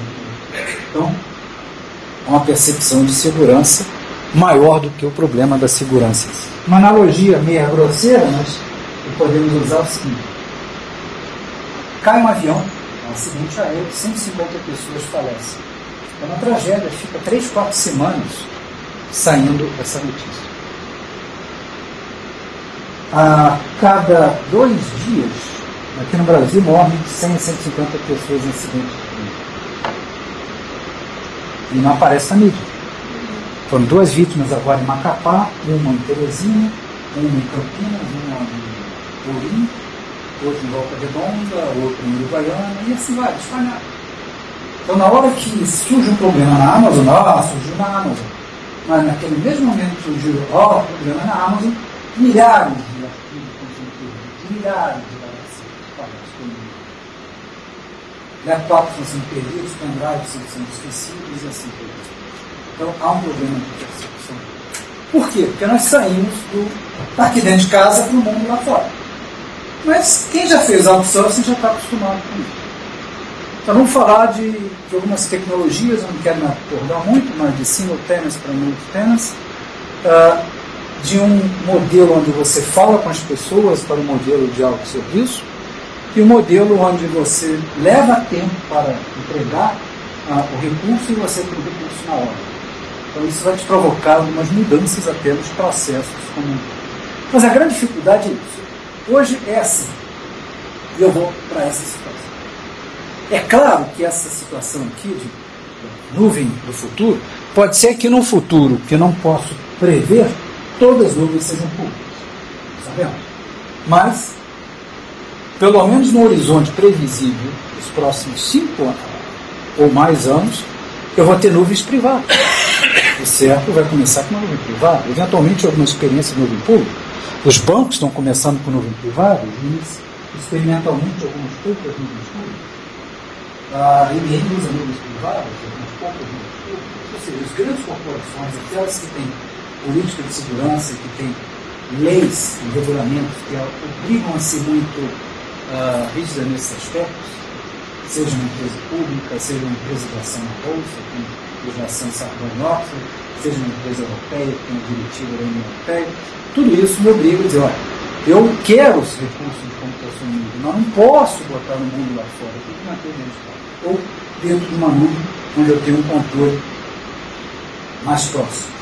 E algumas nuvens públicas fazem isso. Por exemplo, eu posso chegar na Amazon, se eu sou um, um, um governo americano, eu não quero que os meus dados estejam na China, né, do governo americano, então eu digo para a Amazon, eu quero usar você, mas quero que você mantenha os dados meus corporativos aqui no território americano. E a Amazon trabalha nesse ponto, fazendo isso, claro, cobra um pouco mais, porque aí a escala dele diminui e né, economicamente vai ter que cobrar um pouco. Mas, de maneira geral, é esse modelo que nós estamos falando. Isso leva a algumas questões a mais de segurança. Né? Nós estamos acostumados a esse modelo, e quando você caminha para a virtualização, é o primeiro passo, na mesma máquina virtual você tem desculpe, na mesma máquina real, você tem várias máquinas virtuais, e essas máquinas virtuais podem ter níveis de segurança diferentes. Então eu posso ter um, um ambiente Windows um ambiente Linux, eles têm níveis de, de vulnerabilidade e segurança bem diferentes, vocês e pode na mesma máquina. Ah, será que garante isolamento total? Será que se eu tiver um bug no hypervisor, eu não consigo bypassar a segurança do sistema operacional no lugar real. Então, começam a surgir novos desafios em relação à segurança. Então, de maneira geral, o que nós propomos se você quer começar para computação em nuvem, não entra de cabeça, vamos, estamos aprendendo, falamos disso início. Faça claramente um análise de risco, veja o que você precisa garantir de segurança, defina suas cargas de trabalho de forma a, por exemplo, começar com alguma coisa que tenha riscos menores e ao longo dos anos, à medida que nós vamos aprendendo, à medida que os seus processos começam a ser modificados, eventualmente você ajusta o ITIL que você tem dentro de casa para gerenciar imagens, coisas que talvez você não faça, uh, você tenha recursos nos seus processos para permitir o autosserviço, coisas que hoje não existem, um catálogo de serviços para ver se não tenha. Você vai melhorando, vai modificando os seus processos de governança e, eventualmente, você chega aplicações de missão crítica. Claro que, novamente, olhando os tipos de nuvens, as, digamos, as necessidades e esforços de segurança vão variar. A responsabilidade final é sempre sua. Se eu quero colocar numa nuvem pública, se houver algum problema legal, o imposto de renda for atrás de você, o problema é seu. Ah, mas eu coloquei numa nuvem pública e ele perdeu. O problema é seu, não é do provedor. Então a responsabilidade é sua. Mas, na divisão de tarefas em questão de segurança, lembrando os vários níveis de abstração que tinha falado lá, quando você pega a infraestrutura como serviço, a Amazon, Google, por exemplo, tá? o que ele vai garantir é o seguinte, olha, eu te dou um servidor virtual e garanto que ninguém vai é, acessar seu servidor indevidamente. Mas o conteúdo dos seus aplicativos, a segurança dos aplicativos é seu. É você que faz. Eu não dou aplicativo, eu só dou um servidor. Não dá para o servidor, não dá para sempre. Como fosse, entre aspas, um location. Né? Colocou lá. Então, a maioria dos aspectos de segurança estão ligados a você. Você tem uma política de segurança seus aplicativos também. Você sobe nível de abstração, vai plataformas etc., tudo aquilo faz parte do portfólio nuvem, ah, o provedor ele tem que oferecer mais segurança. Ah, ele oferece, por exemplo, um banco de dados, então ele tem que garantir que naquele banco de dados os seus dados não estão isolados dos demais usuários. E se você subir no nível de abstração um pouco mais acima, chegar só para você, basicamente a responsabilidade, a responsabilidade do mas o esforço de segurança é do provedor. Eu estou usando o Salesforce como meu provedor de CRM, ele que armazena meus dados, ele tira backup dos meus dados, ele que garante que ninguém vai acessar devidamente. Toda a responsabilidade desse tipo de atividade é dele. A minha responsabilidade, por exemplo, é, é, é que cada nível de usuário tenha uma senha e que não, na minha política, não permita que essa senha, por exemplo, seja compartilhada. Que aí, o problema é meu. Eu entrego a minha senha para outras pessoas, o problema é meu. Mas todo o processo de segurança é por conta do produto. Então, depende do que você está comprando de nuvem, vai variar qual o grau de atividade que cada um vai fazer. Um exemplo que, como isso vai ficar disponível para vocês, não vale a pena anotar, mas se quiserem estudar um pouco mais a fundo, tem um documento, a IBM tem uma série de documentos chamado Red Books, ou Red Papers, uma biblioteca disponível de arquivos PDF que você pode baixar. São 200, 300 páginas, são bem volumosos, são muito consistentes em termos de conteúdo. E você consegue, por exemplo, ter lá todo um programa, um, um guidance, um guia de, segurança em nível, uma política de segurança, como é que você deve discutir com a auditoria, tudo assim. Um outro problema que se discute é o seguinte, né? eu estou falando rapidamente da questão de segurança, mas que é a primeira barreira. Eu não tenho nuvem, vou para a nuvem quero saber segurança. Depois da segurança, o que, que vem? Interoperabilidade. Por quê? Eu coloquei coisas em nuvem, mas eu tenho algumas coisas que não estão rodando na nuvem. Não dá para colocar tudo na nuvem. Nem porque eu usando nuvem pública, seja uma pequena empresa. Não dá para fazer tudo de um dia para o outro. Então eu vou ter momentos que eu vou ter coisas na nuvem pública, nuvem privada e algumas coisas no modelo tradicional, como chama on-premise, e eventualmente mais de uma nuvem. Então, o segundo questionamento que nós vamos ter é que ainda pouco se levanta o debate, porque temos poucas nuvens são é a questão da interoperabilidade. Esse é um desafio grande.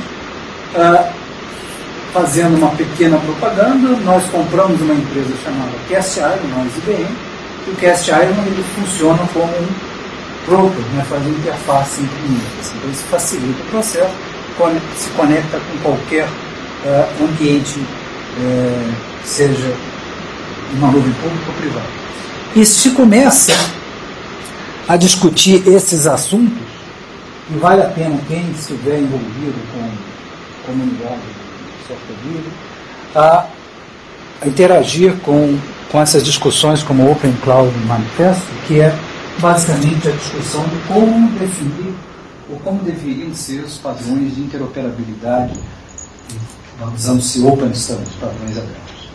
Interoperabilidade entre nuvens é um grande desafio. Então, esse é um ponto. Bom, então falando desses desafios todos, né, já falamos do que é nuvem, falamos do desafio, isso que nós temos pela frente, são 10 e meia, então acho que mais meia hora eu termino, que é exatamente a parte final. Legal. Tudo isso aí que você falou está interessante, significa que nós vamos para a nuvem, tem desafios, eu não vou mergulhar de cabeça, tenho que estudar o assunto. Mas como é que eu faço isso? Né? Que passos eu dou? Né? Quais são os caminhos que eu tenho que seguir para fazer isso acontecer? É isso que nós vamos comentar agora para encerrar nossa conversa. Né? A primeira coisa, pensar o seguinte: é um risco ou uma oportunidade para a área de TI? Vamos, vamos dar um caso hipotético. Esse caso hipotético é baseado na experiência anterior. No modelo cliente-servidor, quando nós saímos centralizado fomos para ambiente distribuído, pequenos servidores espalhados, a área de TI ela foi muito reativa. Não, não vou permitir que meu aplicativo vá rodar naquele servidorzinho, na época era um Windows NT. Não, não vou fazer isso. Só que o usuário, a área de TI não atendia, ele. em frente. Eu me lembro nitidamente, isso foi em 2002, não, eu acho que foi em 2001, por aí, em 2000, estava pleno auge de, de, de aplicativos do servidor, começou movimento do sistema de gestão empresarial, surgiu o SAP, PAN e outros produtos. Eu tive uma reunião com uma grande, grande instalação, um grande cliente, e o CIO disse, olha, eu estou aqui, estou usando aqui o ambiente centralizado, tenho perfeito controle da situação e não tenho um ambiente distribuído. E aí, nós fizemos, nessa época eu não estava na IBM, eu comecei a carreira na IBM e saí, e voltei em 2002, quando a IBM comprou a Price. Eu era o, o diretor da Price, que a gente chamava da área de uh, IT Strategy, né, estratégia. Bom, fizemos um, um um diagnóstico nessa empresa e descobrimos que haviam mais de 30 servidores espalhados por diversos departamentos que o CIO não tinha a mínima ideia que existia. Então, em cima dessa história, vamos fazer um, inventar uma, um pequeno conto né, para mostrar que a área de TI não pode esquecer uh, esse movimento cloud, de cloud computing, deixar de lado. Vamos imaginar que eu estou numa uma pequena média empresa, eu sou executivo de negócio, e chego para o meu gerente de, de informática e digo, ah, eu quero um sistema de gestão de frotas. Aí o sujeito de informática vai chegar e dizer, olha, eu não tenho budget, não tenho orçamento, não dá para fazer. Mas no mercado tem vários projetos, vários aplicativos. Então busca um. Aí eu vou, começo a buscar os aplicativos, testo um, testo outro, Quer dizer, testar não é bem testar, que eu não posso instalá-lo, mas eu visito clientes, faço planilhas comparativas, aí chego à conclusão que esse aqui é o melhor. Aí eu volto ao executivo de informática e digo, olha, escolhi esse aplicativo. Diz, pô, legal, escolheu bem. Mas deixa eu ver. Pô, esse aplicativo custa 10 mil reais ou 20 mil reais a licença, mas ele roda em Linux. O nosso ambiente é um Windows. Então, eu preciso comprar um servidor, vou botar um, banco de dados MySQL, que usa o SQL Server, uh, vou precisar de uma analista de suporte, vou precisar de um software de gestão, etc, etc, etc. Isso vai sair dos 50 mil reais, mais 200 mil reais. Sei lá, servidor, suporte, essas coisas todas, consultoria. E vai levar três meses. Outro caminho. Uh, nós falamos do Salesforce que tem o aplicativo em, rodando em software as a service. E eles criaram um, um como o Android Market, o, o, Apple Store, um market, Application Exchange Market, onde você desenvolve um aplicativo integrando com o Salesforce. Então tem lá vários aplicativos. É exatamente igual ao Apple Store. Então você vai, escolhe, eu gostei desse em gestão de frota. Cliquei, ver como é que ele é, posso testar. Né? Tem lá uma try before buy, quer dizer, teste antes de comprar. Você testa, chama os seus funcionários, testou, gostou, você tem budget no seu orçamento, sua unidade de negócio e passa a usar. área de TI, está nem sabendo que você está usando isso. Não precisou de TI, não precisou de ninguém, não precisou instalar servidor, não precisou instalar nada. Então, se a área de TI não olhar uh, o movimento cloud computing, vai ter muita coisa acontecendo sem ele saber. Agora, mais cedo ou mais tarde, isso vai explodir no colo do executivo de TI, por quê? Aquele executivo de negócio contratou aquele aplicativo, aquele outro contratou outro aplicativo, aquele outro contratou aplicativo, um belo dia eles querem interoperar isso como os sistemas estão rodando no data center da empresa. E aí cai no colo do CIO. Como é que eu faço essa interoperabilidade?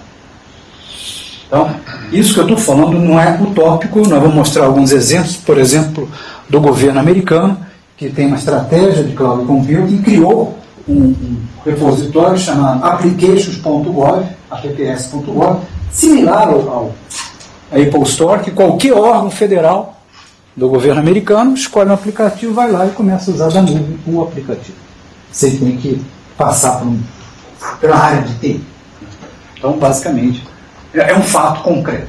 Então, recomendação: tem que ser visto como uma oportunidade, não como um risco. Bom, para você ver como oportunidade, a primeira coisa que você tem que fazer é planejar. Planejar. Cloud Computing vai entrar na minha organização e eu tenho que controlar isso. Controlar no bom sentido, não impedir, mas controlar para manter a gestão, manter a governança, garantir o nível de segurança, disponibilidade, etc, etc, que é meu papel como executivo de TI. Eu tenho que construir o ambiente de computação em nuvem. Vai ser externa, privada, é, pública, ou vai ser privada dentro de casa? Né? Minha empresa não, tem política de segurança, tem que fazer uma nuvem privada. E vou, ao longo do tempo, expandindo isso. Né? Então, basicamente, eu crio um roadmap, né? crio uma, uma linha do tempo onde eu vou, primeiro, é, reduzir a complexidade da infraestrutura, quer dizer, o processo de consolidação. Tem milhares de máquinas, pô, vamos tentar organizar isso melhor, que eu quero virtualizar, padronizar automatizar. Então, a consolidação é um passo importante. Segundo passo é, eu tenho que virtualizar o ambiente e padronizá-lo. E, finalmente, eu coloco a tecnologia que me permite isso acontecer. Então, é uma sequência de etapas que eu vou fazendo nesse sentido. E aí, eu consigo definir que tipo, faz parte do trabalho, que tipo de workload, de carga eu vou poder usar. Talvez não valha a pena colocar um sistema de gestão empresarial numa nuvem, porque o sistema de gestão empresarial fala com muitos aplicativos, aí eu já tenho um problema de interoperabilidade hoje. Então, não, deixa resolver esse problema antes. Vamos colocar coisas que têm menos, uh, menos interfaces externas. Ele é mais isolado. Então dá para fazer isso uh, muito mais facilmente. Ah, tem muita interoperabilidade, muita interface com outros sistemas? Deixa para depois. Então, eu desenho, mas isso tudo tem que ser discutido na estratégia. Então, nós pegamos tudo isso e propomos esse caminho para você escolher uh, uh, uh, ou desenhar a sua estratégia de cloud computing. A gente tem usado isso nos nossos clientes. Primeiro, defina uma, uma estratégia e cria um roadmap. Para onde a área de TI vai estar daqui a alguns anos? Né? Em 2020, como é que eu vou estar? Fazendo a mesma coisa que eu faço hoje? Ou seja, eu tenho em movimento cada vez mais intenso de mais demanda, é o ambiente de computação em nuvem, está lá, mas eu vou fazer meu plano estratégico para 2020, hoje estou em 2011, vou dizer, bom, hoje eu tenho tantos mix no mainframe e tantos servidores. Então em 2020 eu vou ter três vezes mais servidores e duas vezes mais mainframe. É isso? Cloud eu esqueço? Não. Então, peraí. Não posso esquecer que o modelo computacional está mudando. Queira eu ou não, está mudando. Né? A Sony também não queria sair da venda de CD. Saiu. Uh, jornais não queriam que viesse jornal eletrônico. Está aí. E assim vai. Então, não sou eu, gerente de TI, que vai dizer não quero isso e não vai acontecer. Porque vai acontecer. Então, eu tenho que incluir modelo de computação nuvem na minha estratégia e considerá-la como, como importante, ou mais importante da estratégia. Bom, faço análise de, da carga de trabalho, vamos detalhar um pouco mais, determino o que pode ser e deve ser pública ou privada, ou se vai ser uma nuvem híbrida, e isso é dinâmico, né? algumas coisas começam como privado e vão para pública depois. Faço as análises custo-benefício, tudo é movido a resultado financeiro, redução de custo ou, agilidade, quer dizer, mas no fundo nós estamos falando de dinheiro, qual a tecnologia que eu vou precisar para criar, por exemplo, uma nuvem privada, ou seja, para padronizar, automatizar e virtualizar. Eu tenho as tecnologias hoje adequadas? Qual o gap tecnológico que eu tenho? Como é que eu vou preencher esse gap? Eu vou usar tecnologias comerciais existentes ou vou usar uh, tecnologias open source? Qual o grau de maturidade dos projetos comerciais e open source? Ah, esse aqui está mais avançado que esse. Tem que analisar tudo isso e, finalmente, um processo contínuo de implementação. Quer dizer, cloud não é um produto, você vai, instala, acabou, não é um processo gradual de implementação. Então, vamos desenhar estratégias. Sugiro que vocês leiam algumas delas. Uma que eu recomendo é um documento, um PDF, que é a estratégia do governo federal americano. Então, o, o CIO do governo federal americano, que é o Vivek Kundra, né? ele é o Chief Information Officer do, do Obama, ou seja, responsável por todos os órgãos do governo federal americano, que é o maior usuário do mundo em termos de tecnologia de informação, tem um budget de aí algumas uh, centenas de bilhões de dólares por ano. Ele definiu uma estratégia de cloud computing que nós chamamos de Cloud First, que ele está dizendo o seguinte: basicamente, tudo que você do governo federal for fazer tem que ser em cloud. Se não for, você me explica por quê. Então, o governo federal americano desenhou essa estratégia e já está colocando em prática. Vale a pena ler o documento, que acho que é um bom roteiro de um grande usuário de tecnologia.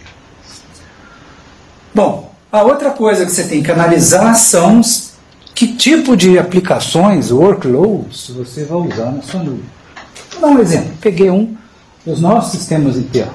A IBM também uma grande corporação, como eu falei, são cerca de 100 bilhões de dólares de receita, 400 mil funcionários, 170 países, operação global, e eu tenho que ter, uh, eu quero eficiência na área de TI. Então, nós consolidamos dezenas de data centers em dois ou três data centers, rodando uh, grandes, a maioria rodando os mainframes com Linux, basicamente Linux como sistema operacional básico, e estamos trabalhando para, grande parte disso já foi feito, para esses data centers trabalharem em nuvem, para nós, internos, para IBM. Então a análise que foi feita mostrou o que poderíamos colocar primeiro na nuvem e o que poderíamos colocar depois. Então a análise do, dos sistemas internos da IBM mostrou o que, que é mais, tem mais afinidade com o ambiente cloud. O ambiente de web, aplicações web, o ambiente colaborativo, correio eletrônico, ah, a gente usa muito Wix dentro de casa, a intranet fortíssimo Wix. A gente, hoje o uso de e-mail tem caído significativamente, a gente usa muito Wix. A gente tem muita utilização de, de, de ambientes de rede social, por exemplo, das externas, a gente usa as nossas. A gente tem o nosso próprio Facebook, que é o, que é o Beehive, a gente tem a, nossa própria Wikipedia, que é a Bluepedia. A gente tem todas essas coisas dentro do ambiente de hoje é de nuvem. Uh, e ao longo dos tempos nós vamos colocando mais e mais aplicações. Né? Vocês estão vendo que sai do alta afinidade para baixa afinidade. Então, esse é um projeto que está acontecendo ao longo do tempo. Então, que aspectos hoje a gente considera que tem mais afinidade são essas aí. O que é, uh, pode ser hoje padronizado ou ir direto para a cloud, aplicações da web, colaboração, ambiente de desenvolvimento de testes, vou citar alguns exemplos o que pode ser possível em cloud, o que pode ir para a cloud, mas não a curto prazo. É o que está no database, ambiente de processamento, RP. Isso vai, mas não hoje, vai no futuro. Então, visto de outra forma, não, tá aqui. Isso fica para a documentação de vocês. E, talvez, resumindo tudo o que eu falei, esse aqui, o que está pronto para a cloud é esse amarelo, o que está mais ou menos você faz análise de risco, está em branco, e o que ainda não deve, ou não está pronto hoje, mas não quer dizer que daqui a cinco anos não esteja, isso é dinâmico, você não tira a foto e guarda no, no armário, uh, aqueles ambientes. Então esse é o primeiro passo, né? A outra é, o que, que vai para a nuvem privada e nuvem pública? Não, muitas coisas vão para a nuvem privada, porque eu tenho questão de segurança, eu tenho questão de atender a certos aspectos de auditoria, aspectos regulatórios. Então, a maioria das coisas eu vou fazer em nuvem privado, eu, uma média ou grande empresa. Uma, uma empresa pequena vai para a nuvem pública. Até uma coisa interessante. Nós temos dentro da IBM uma unidade chamada IBM Venture Capital, que ela é, ajuda a fomentar novos negócios. Só que a gente não investe diretamente, a gente não coloca direito, direito, dinheiro no startup. O que a gente faz é o seguinte, a gente ajuda ele a colocar uma tecnologia IBM que nos interessa, uh, apresentamos eles aos investidores, o investidor está buscando alguém para fazer esse tipo de coisa? Tá, ah, tem esse cara aqui. Juntamos, eles se falam, e nós colocamos ele no nosso portfólio. Quer dizer, a IBM tem talvez a maior força de vendas das empresas de TI do mundo. Então, você coloca toda a força de vendas para fazer isso. Para a startup, um bom negócio, para o investidor, um bom negócio, e para ele, um bom negócio, porque cada um produto daqueles vendidos é um produto nosso. Ora, então nós fizemos uma reunião ano passado com vários venture capitalists, e estava conversando com eles, fizemos depois um coquetel, conversando com vários deles, e o que, que eles me falaram? Falaram o seguinte: quando eu, investidor, analiso uma iniciativa, um business plan, né, para colocar grana, né, vem alguém querendo me propor um negócio, eu olho lá se tem investimento em TI. Se tiver investimento em servidor, em software, quero. Por quê? Se der certo, e no mundo da internet esse dá certo cresce de forma exponencial, ou seja, eu vou precisar de um para mil servidores em poucos dias, eu não vou conseguir fazer isso no mundo físico. E se não der certo, o que, que eu vou fazer com mil servidores? Né? Então, eu, eu, investidor, eu quero olhar só iniciativas em cloud. Então, os investidores já estão olhando isso, já faz parte do negócio. E todas as iniciativas começaram, vocês veem, todas as iniciativas que vocês conhecem de, de, de do, do mundo da internet, usam ambiente de nuvem. O Twitter o ambiente de nuvem. O Facebook começou com ambiente de nuvem, agora é só nuvem privada, mas era uma nuvem pública. Então tudo isso hoje começa sem ter servidor físico. Não precisa mais. Bom, então eu defino o que eu quero, privado ou público. Isso é dinâmico, né? Então essa figura mostra claramente isso. Digamos, hoje eu faço uma linha de corte, eu vou fazer algumas coisas privadas, algumas coisas públicas, ao longo do tempo eu vou caminhando mais para o público, privado, de acordo com a minha estratégia. Eu não vou dizer qual a estratégia de vocês, vocês têm que desenhar a sua estratégia. Cada empresa tem a sua própria estratégia. Vocês têm que ter resultados, claro, e números já conseguem ser demonstrados. Vou mostrar alguns exemplos reais. Né? Essa é uma nuvem interna da IBM. Nós temos algumas nuvens. Nós temos um programa na IBM de incentivo à inovação. Então você tem uma grande ideia, essa grande ideia você transforma num software, escreveu, e você coloca isso num, num, gente tem um programa de investimento para isso, você coloca ele disponível para os usuários internos, né, na rede interna da IBM, e os usuários, ou seja, os outros IBMistas vão usando, como voluntários vão dando colaboração. Pô, isso aqui é legal, não sei o quê. Da sugestão, você vai, ou colaboração de código ou de sugestão. E esse ambiente é chamado TAP, Technology Adoption Program.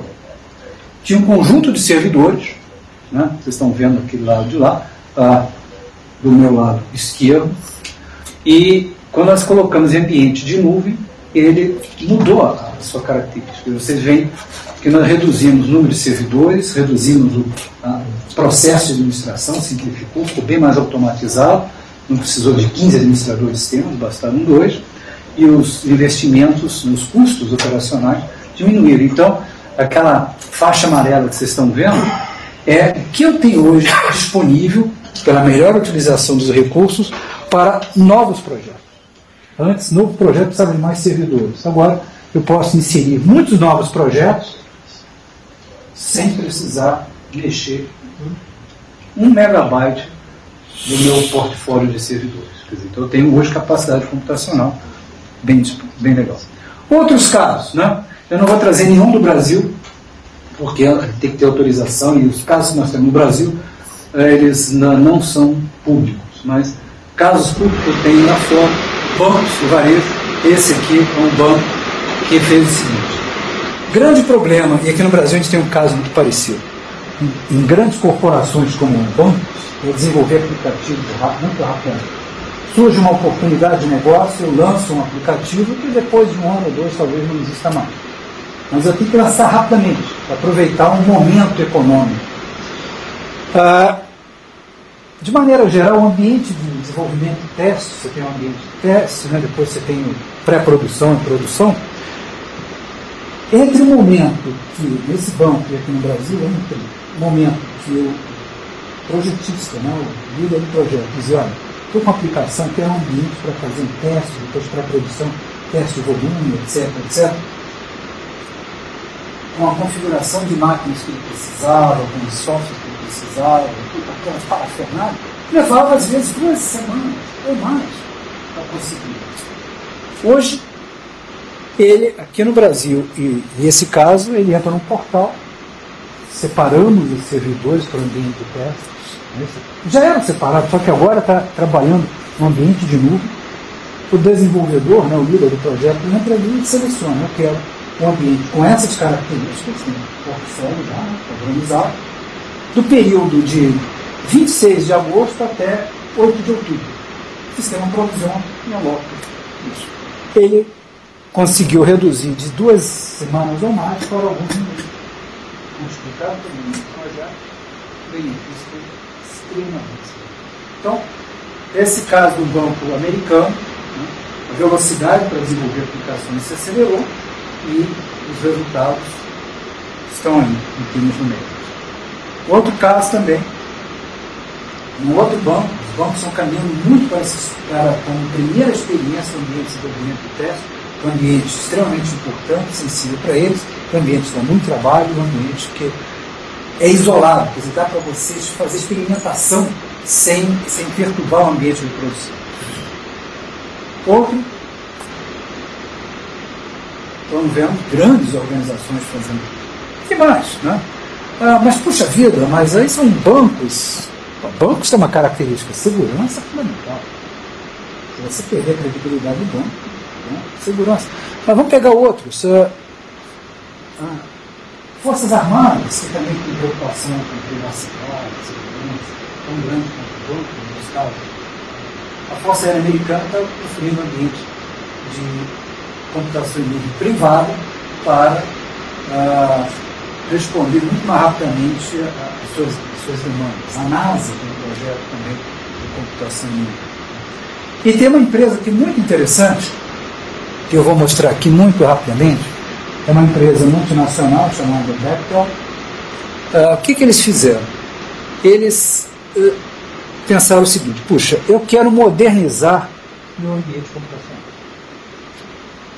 Mas eu não quero modernizar olhando para as empresas do setor. Eu não fica igual. Ah, eu, vou, eu sou banco, eu vou olhar o outro banco, o que, que eu vou ganhar? 1%, 2%. Não posso ganhar 100%, porque não dá para fazer diferença significativa se eu no mesmo setor. Tem que quebrar paradigma, né? pensar de forma diferente. E foi assim que eles pensaram. Pô, espera, eu tenho hoje um custo altíssimo, uma empresa multinacional de bilhão de dólares, e eu precisava resolver essas questões todas. O que, que eu tinha? Eu tinha hum, várias empresas do grupo, né? uh, eu tinha, eu sei que cada vez mais surgem aplicações e essas aplicações vêm dos usuários finais. O sujeito tem lá um iPhone que quer uma coisa, quer uma interface sensível a toque. Ele não quer mais uma tela que você vai lá com mouse e teclado. Ele quer uma coisa muito mais intuitiva, porque ele tem em casa. Por que o diabo de TI não consegue fazer uma coisa tão boa quanto ele tem em casa? Não? Ele está aqueles interfaces do século passado. Então, isso é uma necessidade. E eu precisava de um ambiente extremamente rápido, porque a velocidade é fundamental no negócio. O que, que eles fizeram? Então, eles analisaram o seu data center em relação às melhores práticas de data centers que existem hoje, que não são dos seus concorrentes, são das empresas da internet.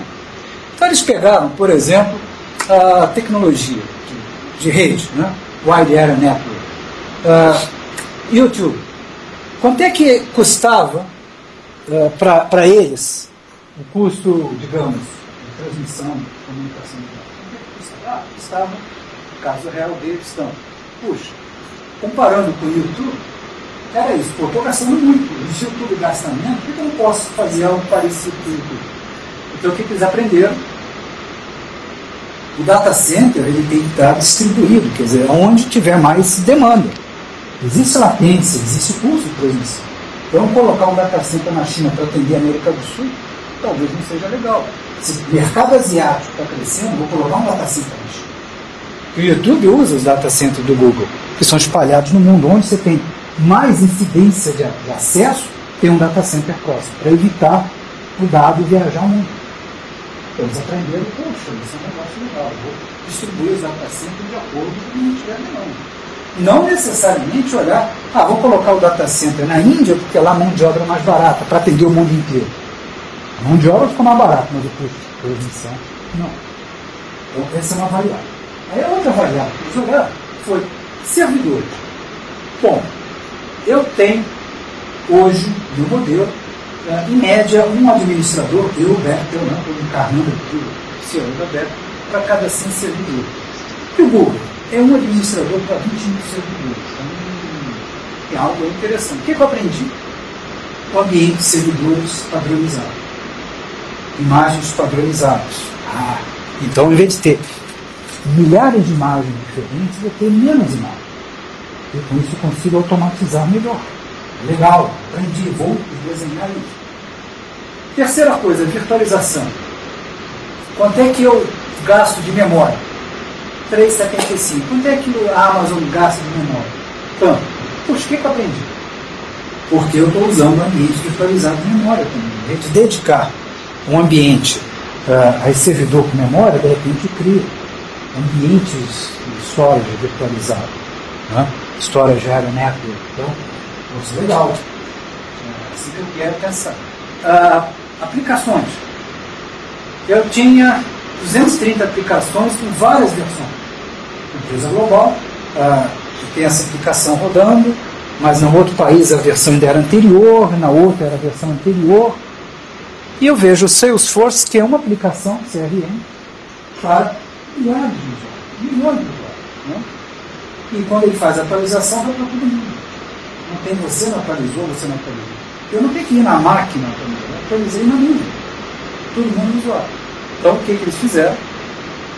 Converteram as aplicações mais utilizadas num ambiente similar a software as para rodar no seu ambiente nuvem privado, mas num modelo similar ao que o Google faz, o Salesforce faz, então, qualquer usuário no mundo inteiro pode usar e onde vai estar essa aplicação num data center localizado mais próximo da, daquele usuário. Então, eles não compararam com a empresa do setor, compararam com as melhores práticas e isso está disponível publicamente, não peguei nada confidencial na revista CIO Campeão em novembro de 2008, toda esse dado. E aí fizeram isso. Construíram um novo ambiente de data centers, usando virtualização, reduziram o espaço físico, aumentaram a melhor, utilizaram melhor o ambiente como um todo. Aqui está o resultado. Então, esse é um caso muito interessante. Você quebra os paradigmas. Não se compara com quem está igual a você. Compara com o que é de melhor de prática, usando já aí a estratégia própria. Bom, então casos concretos. Outro ponto, então, que nos leva a isso é Legal, eu quero fazer isso que a Bechtel fez, mas qual é a arquitetura que eu vou ter? Né? Eu preciso de recursos que me façam toda essa automatização funcionar. Seja, eu entro num portal, tem que ter uma tecnologia de portal, eu vou provisionar recursos, tem que ter uma tecnologia que provisione recursos, eu vou alocar os recursos, vou utilizar os recursos, tem que monitorar os recursos. Eu tenho essa tecnologia. Então eu desenho uma arquitetura como essa, onde você tem os consumidores, de um lado, você tem os desenvolvedores, o ambiente, de gestão do ambiente, e você tem todo uh, o, digamos, o, a arquitetura tecnológica para isso. Se você usar uma nuvem privada, pública, desculpe, começar por pública, digamos a Amazon, isso está lá. A Amazon fez isso. Você simplesmente entra e requisita o serviço. Tudo isso existe lá dentro. Se quiser fazer uma nuvem privada, você tem que colocar isso dentro de casa. A privada é isso. O usuário vai entrar ali e vai solicitar num portal um determinado recurso. A área de TI vai ter que providenciar essa arquitetura para que isso funcione e seja entregue no portal. Então, e tem várias soluções para isso, desde soluções que nós, IBM, temos, várias soluções para fazer isso, IBM implementa nuvens privadas, ou vocês podem é, caminhar para uma solução de nuvem né, código aberto, por exemplo, em infraestrutura como serviço, tem algumas alternativas, como falei, Eucaliptus, OpenNebula, por exemplo. Então, existem uh, algumas possibilidades de fazer em código aberto também. E aí você vai construir isso aí, né? Data center, ambiente uh, de, de nuvem. Claro que aqui eu estou mostrando as nossas tecnologias para fazer isso acontecer. Mas você começa a ter um ambiente de nuvem funcionando no seu data center privado, baseado nessa arquitetura. Então, para vocês terem uma ideia, o que, é que nós estamos falando? Né, eu tenho um pool de servidores, eu já não tenho mais um servidor específico e alocado para cada coisa, eu tenho um pool de servidores, e eu quero, ah, digamos, reservar um servidor, um, desculpa, eu já falei errado, reservar um servidor, eu quero alocar um recurso para uh, um ambiente de desenvolvimento de teste. Então, a primeira coisa, eu vou solicitar. Isso, eu tenho que ter um sistema que tenha capacidade de reconhecer aquela, aqueles recursos necessários. Onde é que tem máquina disponível? Onde vai ter máquina disponível, né? Então, você tem uma gestão de capacidade adequada. Ele reserva aquelas máquinas, ou provisiona aquelas máquinas no período que você pediu. Né? Que é do período tal, 25 de agosto a 3 de outubro. Uh, você tem que ter controle que essa pessoa está autorizada a solicitar os recursos, começa a operar ou coloca as imagens do, do, do que foi solicitado, o banco de dados, no ambiente operacional naqueles servidores, e quando você acabar, essas imagens são retiradas, porque vão entrar outras imagens, o servidor mesmo, a máquina virtual vai mudando, monitora o ambiente, né? você tem que ter um nível de serviço, tem que ter monitoração do ambiente, e você tem que ter né, medir os resultados e, eventualmente, você vai fazer a fatura. Um cliente seu vai realmente pagar, digamos. Seja uma unidade de negócio, seja uma empresa, ok, pagou pelo produto. Não o servidor dedicado, pagou pelo produto. Então, toda essa parafernália está dentro daquela arquitetura que nós falamos. E, finalmente, você faz nós já estamos chegando ao final da implementação. É um processo gradual. O que, que vai primeiro, o que, que vai segundo, o que, que vai terceiro e assim por diante. Bom, uh, exemplos né, uh, que nós, se vocês quiserem entrar no site da IBM Service barra Cloud, vocês têm a ideia da metodologia que a gente utiliza, que é bastante simples. Né? Você desenha estratégia, define né, o que, que vai acontecer e assim por diante. Nós já falamos isso muito rapidamente. Uh, Existem vários fornecedores do mercado, eu não poderia deixar de citar a IBM, afinal, a empresa que eu represento tem solução em todos esses aspectos, desde ajudar a implementar a nuvem privada até oferecer recursos de nuvem pública, como por exemplo o ambiente Lotus Live, o ambiente Lotus na nuvem da IBM, assim você tem isso dentro de casa. E o ambiente de desenvolvimento e teste, que eu acho que é um dos pontos interessantes que a gente tem visto como ponto de partida para grandes organizações. Os bancos têm feito isso, nós temos casos no mundo, que eu mostrei, casos no Brasil, e eventualmente pode ser uma ideia para o CERCO começar a experimentar. Puxa, será que não vale a pena um ambiente de desenvolvimento de teste? Eu tenho um ambiente hoje, quando faço escalonamento, provisionamento manual, configuração manual, eu poderia fazer de forma automática. Pega esse conjunto de servidores, digo, isso aqui vai ser um pulse de servidores para ambiente de desenvolvimento e teste, e os projetistas de softwares, os aplicativos, através de um portal, fazem solicitação. Ou seja, sai daquele cenário para esse cenário. Os benefícios são bem interessantes, resultados são demonstráveis fisicamente e financeiramente, e isso te dá condições de você ir para um segundo projeto de cloud, para um terceiro, para um quarto, para um quinto, ou seja, isso alavanca os demais projetos. Então, nesse caso, o banco aqui no Brasil, uh, o ambiente cloud está funcionando e eles já estão pensando agora começar a colocar business intelligence, depois colocar outras e outras e outras e, ao longo do tempo, uma parcela significativa do banco vai estar operando em cloud. Então, esse é uma, uma dica, uma sugestão, talvez vocês possam pensar, se é que vocês já não estão fazendo isso. E nós devemos olhar, então, o cloud como oportunidade, lembrando que a tecnologia é importante, mas não é só ela, é, tem que mexer nos processos, tem que mexer na nossa cabeça de pensar de forma diferente.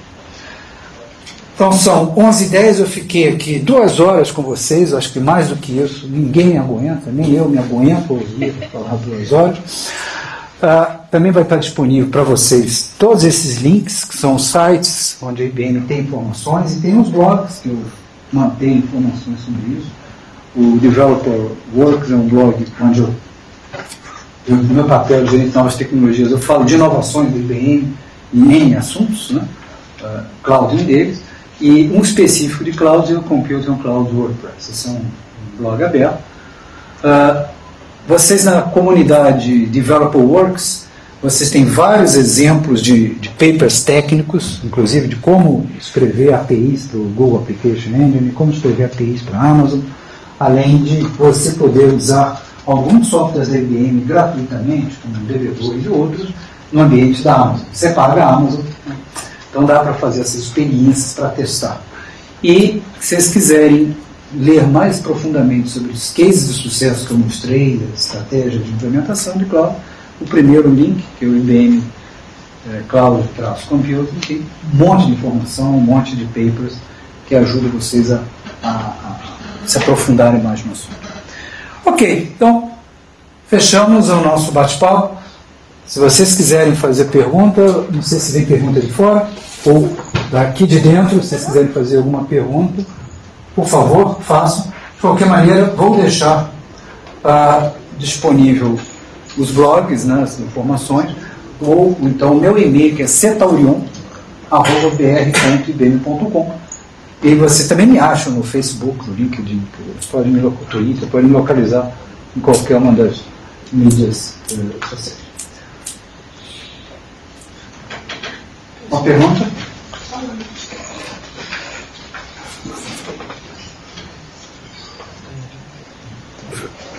É, bom dia. É, meu nome é Mário Cardoso, eu sou da Triad System, é uma empresa de telecomunicação e eu estou na área de finanças. Né? E como está caminhando, eu gostaria de saber a sua opinião. Como tá, eu vim de data center, tenho experiência, grande experiência em data center. Como está caminhando as empresas de data center aqui no Brasil tipo Tivit, a própria IBM, Dell, que estão falando muita coisa de cloud computing, como que essas empresas que até hoje vieram de uma estrutura de data center de outsourcing estão é, vendo a corrida para o cloud computing? Boa pergunta, muito boa pergunta. Bom, uh, vou dividir a pergunta em, em três. Uh, primeiro, especificamente IBM, uh, ah, Cloud Computing está dentro da nossa estratégia para 2015. Inclusive, o compromisso que a IBM teve em 2015 com os acionistas de dobrar a sua receita e, e ter uma rentabilidade praticamente o dobro que nós temos hoje. E um dos principais pilares é Cloud Computing. É um grande desafio que a gente tem um modelo, hoje tem que transformar esse modelo. Mas então nós já estamos caminhando nessa direção. Isso significa que os data centers também estão se posicionando dessa maneira. E, é claro que não é uma coisa muito simples, você tem renegociação de contratos, você, tem, você conhece bem data centers, você sabe bem disso. Esse é um ponto. Ah, outras empresas também estão indiscutivelmente olhando isso. Você falou de Dell, HP, essas empresas todas olham o cloud computing estão olhando isso. As empresas nacionais, algumas surgiram dentro desse modelo, ah, não me lembro agora, mas tem, tem algumas menores, como a Local Web, tem a Tilt, já estão começando a dar os primeiros passos nessa direção. Então, essa é a segunda. E a terceira questão é o seguinte: nós fazemos parte de uma associação chamada Brascom, que reúne as principais empresas de TI, mais ou menos 70% do PIB de TI.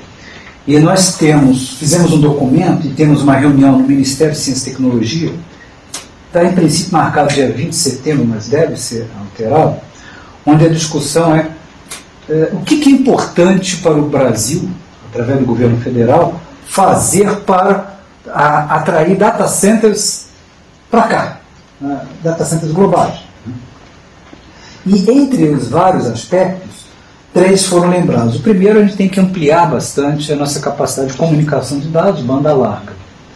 Você hoje tem ainda ineficiência. 70% da banda larga no país é 1 megabit para baixo. Você tem que melhorar muito, mesmo porque tem a Copa do Mundo aí e as Olimpíadas. E você no data center você tem, uh, tem que ter redundância, tem que ter pelo menos dois caminhos de entrada e saída, e eventualmente tem que ser duas empresas de comunicação de dados com altíssima capacidade. O segundo ponto é a questão da, da custo de energia. O custo de energia no Brasil é caro.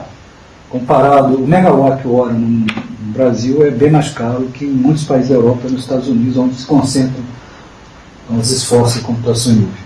E o terceiro é a questão regulatória. Por exemplo, como eu falei, a União Europeia exige que você tenha uma diretiva, na diretiva europeia, uma legislação compatível com a União Europeia. Aqui na América Latina, o único país que se adaptou à União Europeia foi a Argentina, que a Argentina se propõe a ser um local para ser data, atrair data centers.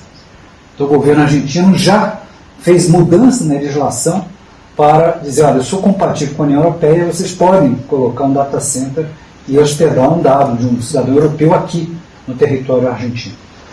Nós ainda não fizemos isso. Então a gente encaminhou isso ao Ministério da Ciência e Tecnologia eu acho que essa parte dessa discussão, algumas ações com certeza vão acontecer.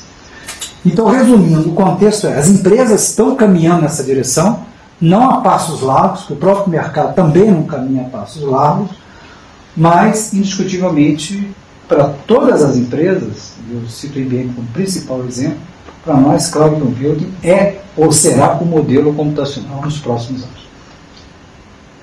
Ok? Obrigado. Mais alguma pergunta? De fora, alguém que perguntou? Ninguém perguntou, eles acreditaram em tudo que eu falei, é assim uma boa. Ok, pessoal. Bom, olha, vocês podem entrar em contato comigo via os blogs, via os meios de comunicação, mídia social, né? coloca César Polion.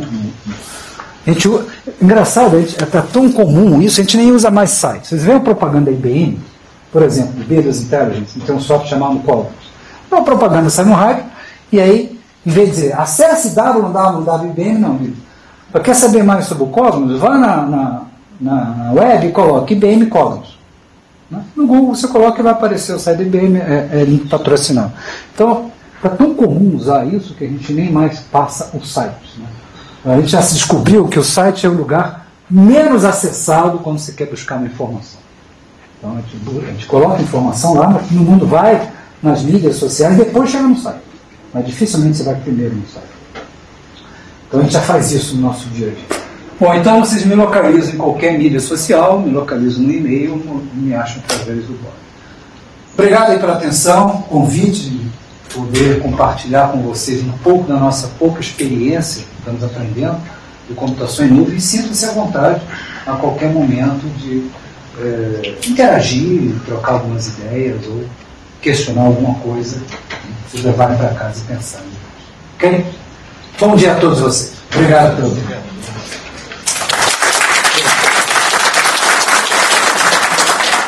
Gostaríamos de agradecer ao Tauler por essa palestra e é, vamos, é, na segunda-feira, dia 29 de agosto, é, haverá a palestra a partir da, aqui do auditório da Regional São Paulo sobre licenças de software livre, descrição, sistematização, compatibilidade e incompatibilidade. Com é, o Nelson Possilar, que é da, INE USP. Tá?